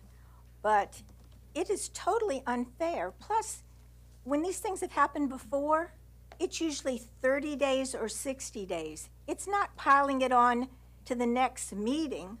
That's hardly any time for people to prepare. And it's the same as school board will be next week. And, you know, it's going to be a large agenda, a lot of items. So, um, y'all are really running the show. Y'all are making the decisions, the developers and their attorneys, and planning, you know, works to help them. Um, I mean, is there, you you bring up a couple good points, Mr. Moss, even though occasionally I don't agree with most of your votes or token votes. But is there anything that isn't allowed to be built on somebody's property? Where, where do you draw the line? Where do you draw the line? Um, like I said, we spent 11 million on the Thompson pumps. They, they, all they're doing is moving all of these new projects, CIP, um, and, and the brewery. That, that is just unbelievable. I didn't have time to print out those pictures. But the geese are, you know what kind of mess the geese, some of their droppings are as bad as dog mess. This is contaminated waters that are sitting there. This is unhealthy. Oh, uh, And none of these things are, um, I'm still talking. Okay, I'm just wondering, are are you talking about this I'm talking particular about item? problems with taking out trees and flooding and what your plans have been since Hurricane Matthew. And what, like I said, all you've done is, and talk about the trees, it was a square mile for the sports center, MEB. We know who, you know, they uh, funded for somebody's campaign. But the, you're not going to fix anything. This is just kicking the can down the road. Uh, canal, 95 years. BMP maintenance, 25 years. Infrastructure rehab, 60. Look at this lake management. Are these, uh, you know, retention ponds going to be considered lakes? 95 years. And that's 567 million. So I think we need to let, you know, the citizens have a rebuttal, and I don't think you should have, you know, put it on the next meeting. Thank you. Ms. Clarkson is via WebEx. Uh, Ms. Clarkson, you are unmuted. You may begin. I'm assuming I can't ask questions of Mr. Stiles, but I just want to bring up a couple of issues that everyone seems to be overlooking. What lot was not in existence before? Did something just miraculously come up that's going to remain untouched? No. Every single lot, every single piece of land was in existence or it would have been built on. I put in the email to you that your hardship is from 1979. The Virginia Code, the very first element of a hardship when you're determining these things is good faith. did the individual applying for this apply in good faith? If you bought it within the past couple years, that's not good faith. But regardless, you are allowing residential structures to be built everywhere. You don't have permits for anything out here below the green line. This one, okay, I see you're above the transition area, whatever. But you have at least seven. Brown has already built and flipped that you don't even have in your system for mapping. Those are seven additional wells, seven additional septic systems, and seven additional contaminations that you are doing to everyone below the green line. This line is not about building. You keep on saying building. It was built because they told you you must restrict building because residents cannot live here. 1990, you were told about groundwater contamination. It's not potable. You put density restrictions in place at that time. You don't even know the proximity of these wells being built next to the other wells on adjacent properties. Again, transition area, whatever. Mr. Stiles thinks, hey, you know, the situation is so horrible down here. We're going to allow every single person to build a residential structure. This just happened in the last two years. What else happened in the last two years? Everything. You have been warned numerous times about the coastal waterways. You have HRSD injecting our aquifers with treated wastewater. That's not even approved for human consumption. But the city is knowingly putting additional residents in this position because there's a right. I don't know what else to say except for if this is the city's position, then what happens when those people on Charisma Court are affected? What is their recourse? Because it's not suing Mr. Brown. You heard Mr. Bourdon. He already flipped those houses and made his money. He won't be around when they flood. He'll be suing you. Because that's the only thing these people can do. That's all the speakers. Mr. Okay. Bourdon, do you, would,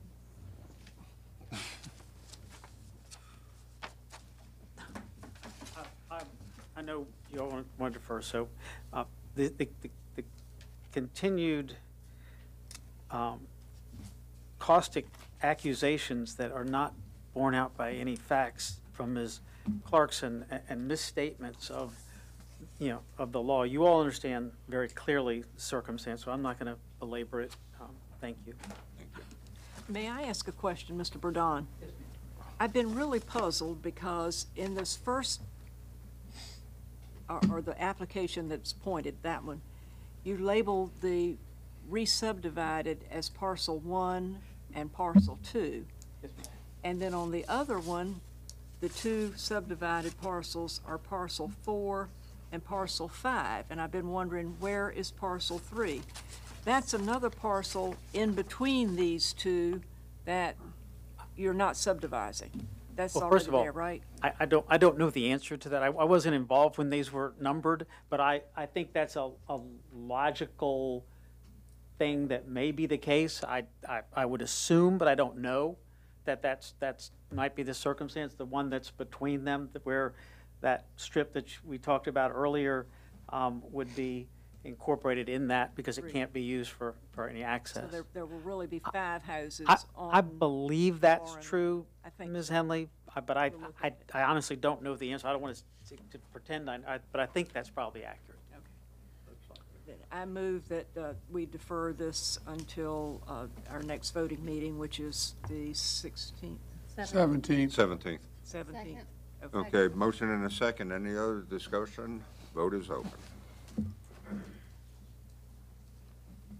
By a vote of ten to zero, this application has been deferred till August the seventeenth. Thank you for your patience. Okay, and uh, the third item for planning, uh, Bonnie G. Bright Sand Company for modification of conditions, Ray Borrow Pit uh, expansion, 200 uh, Princess Anne Road, District 7. Mr. Jones is representing the applicant. And after Mr. Jones is Barbara Messner. Okay, welcome, sir. Welcome. Um, Good evening, and uh, Mr. Mayor and and members of the council. My name is Harold Jones. I'm with Sigma Environmental, and I do represent Mr. Bright today. Um, We have an application, excuse me, I've been coughing back there for a little bit, um, to um, provide for an 18, roughly an 18-acre expansion of the uh, sand mine in the southern part of the city. Um, This same mine was uh, before council uh, about a year ago for a 10-year extension of the CUP, uh, which was approved unanimously. Uh, This expansion uh, will take place in the northern section of of the property.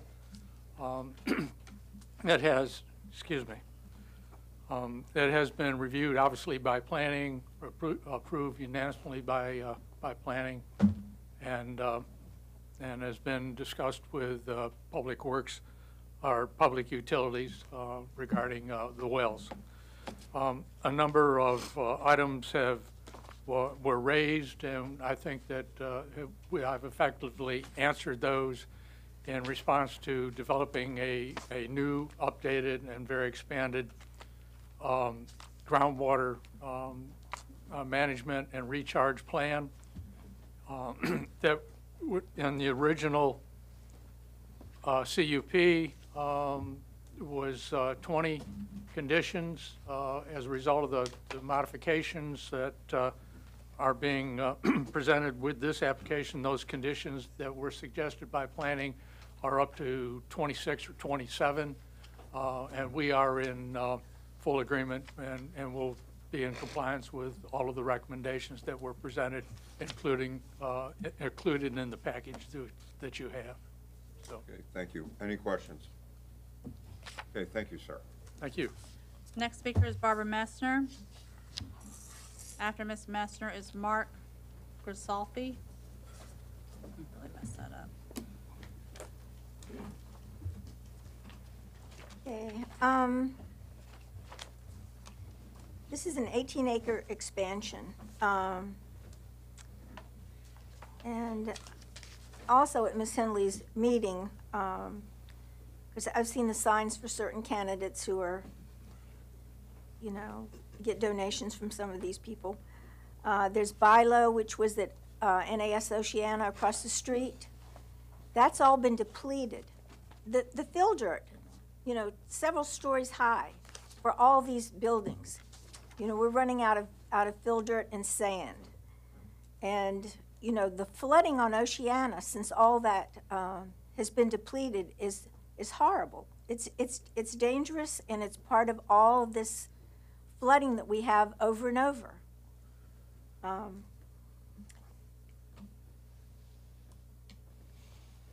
Like I said, we've been replacing sand at the ocean front for decades. It cost a lot of money. If you didn't build hotels on the ocean side and you didn't build all these, oh my gosh, I, all these high density projects all over. I mean, Harris Teeter's parking lot is sinking. It has six, um, six sinkholes, and it was just repaved because everything around there that was built on uh, the original city dump and then you, you filled in all the fill dirt, all the, uh, the wetlands, the marshlands, everything. And now the pinnacle, where Ms. Wilson's aware that, uh, Breeden is building that there, this is all gonna add to, to all the, the problems that we have with flooding. Um, Anyway, I don't, I don't see much hope for any any concern for the, for the residents or the quality of life for anybody from y'all. Thank you. Mark Grisalfi, and I'm sorry if I'm saying your last name wrong. Mr. Mayor and Council, thanks.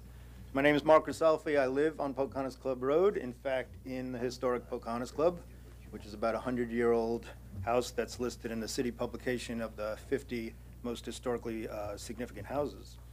Uh, We have been uh, affected, of course, like everybody with the flooding we have in our area and things like that. We've lived through the 10 years that, uh, that we've had these sand pits there.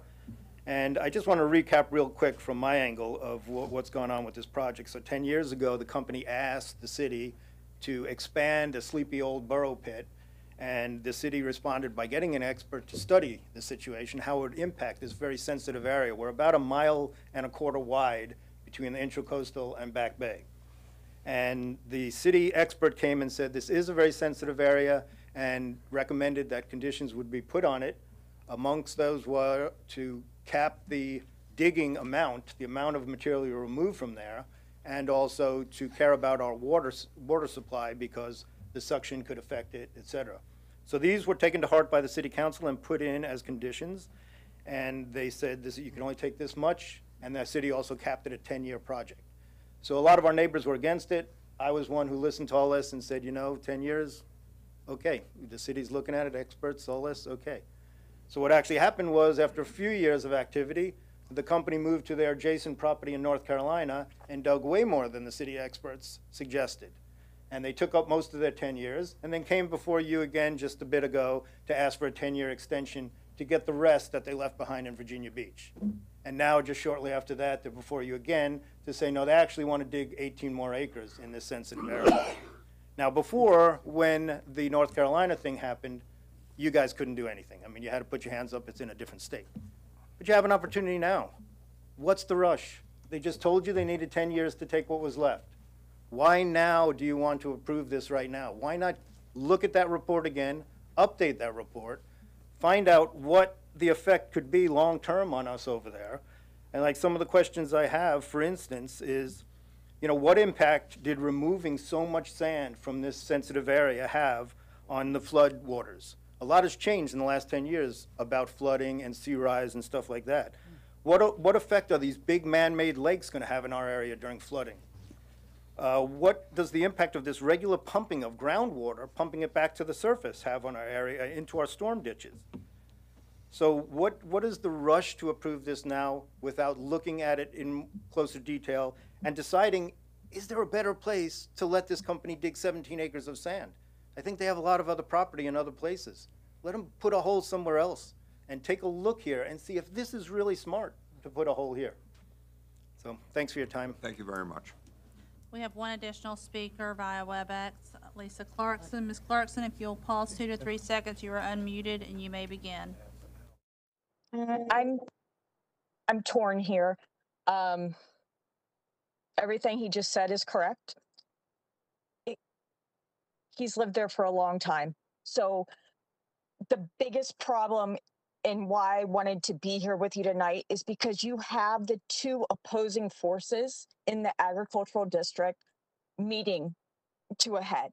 You have the sand borrow, which he's been doing for decades. It's wholly within his zoning. Is it a good idea? Probably not. But they never anticipated for you guys to allow this influx of residents into the area who require all of the same resources. You can have agriculture, certain commercial things going on down here with the waters and the soils. You cannot have the necessities of daily living.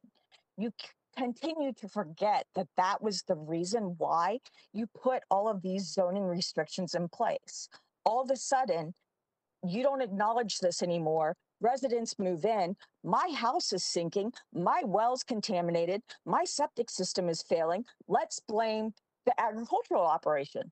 No, it's the city's fault for allowing residents into a situation without warning them. So when you have these people building houses and leaving additional residents, what do you want us to do? Stop agriculture? Okay, you're still going to sink. You're still going to flood. You're still going to have contaminated water. The city really needs to take a look at why these things were enacted. I I'm not for or against this. It's within the zoning, the historical zoning probably needs to be assessed more, but I can't really speak to anything else besides that.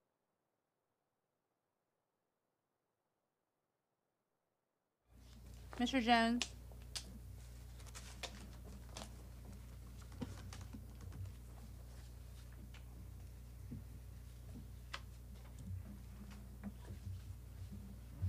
Um, number of things. Number one, first make note of the fact that, or we, we do, that uh, the existing mine has been in operation for, since around 1979, 1980. Um, We've been before uh, the review forms um, regularly, um, and at, at each time, um, we have, add- there have been conditions added to uh, the cap, or to the conditional use permit. Most importantly, right now, um, these conditions, well, part of those conditions was that we monitor, regularly monitor, uh, we collect data every single day. Uh, It's reported quarterly to the city um, on the amount of, uh, of- well, we have 14 monitoring wells around, around the borrow pits. And we collect, we collect the well data. Uh, It's tested and analyzed on a quarterly basis.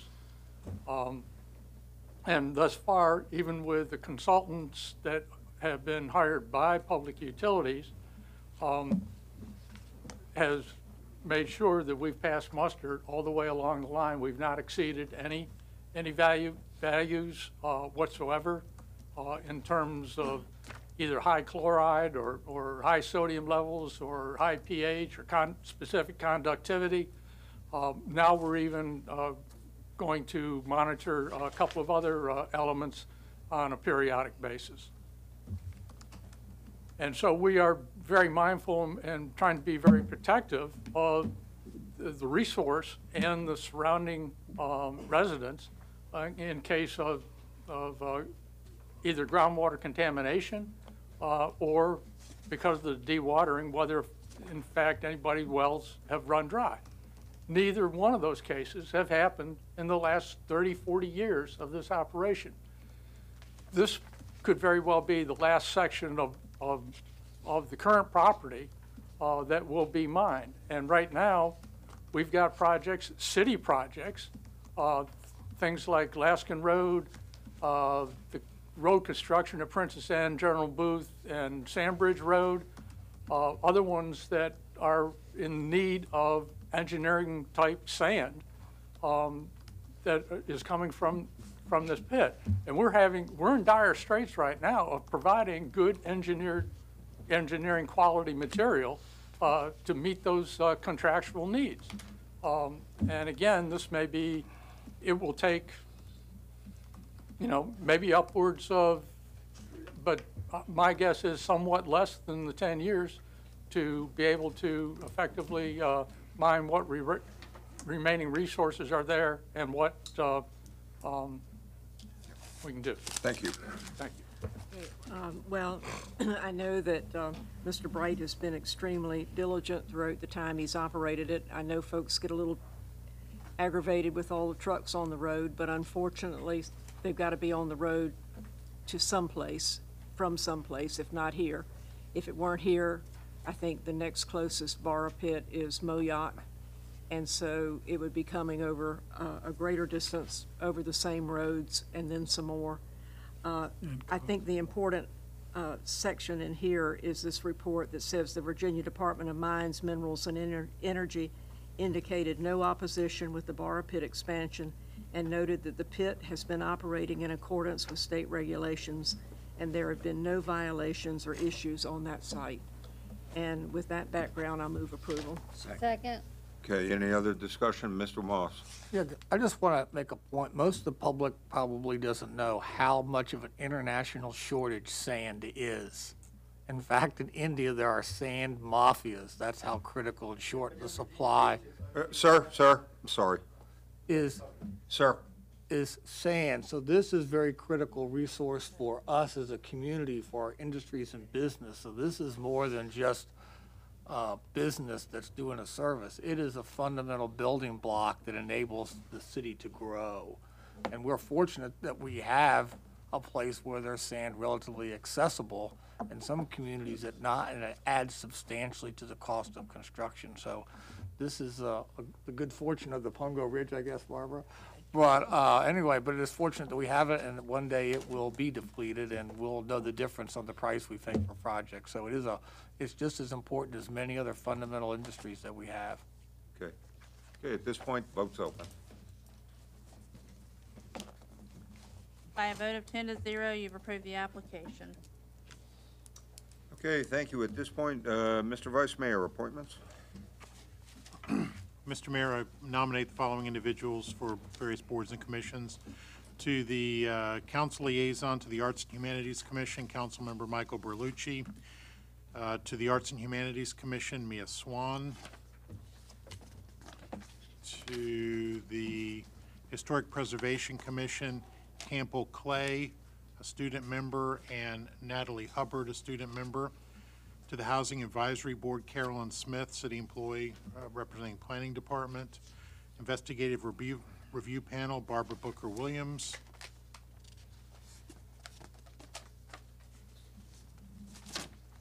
And that's, so that's it, Mr. Mayor. Okay, um, names are in, votes open. By a vote of ten to zero, you have nominated, you've appointed those not, as read by Vice Mayor Wood, sorry. Something like that. Okay, Something like there we go. Any unfinished business? Yeah. Mr. Moss? As, I- as I mentioned earlier, I did have an, an item of unfis- bu- unfinished business that deals with our process for appointments. Uh, you know, our deadline, our, one of our dates was, you know, to do a down select, so to speak, to pick the people we wanted to have interviewed.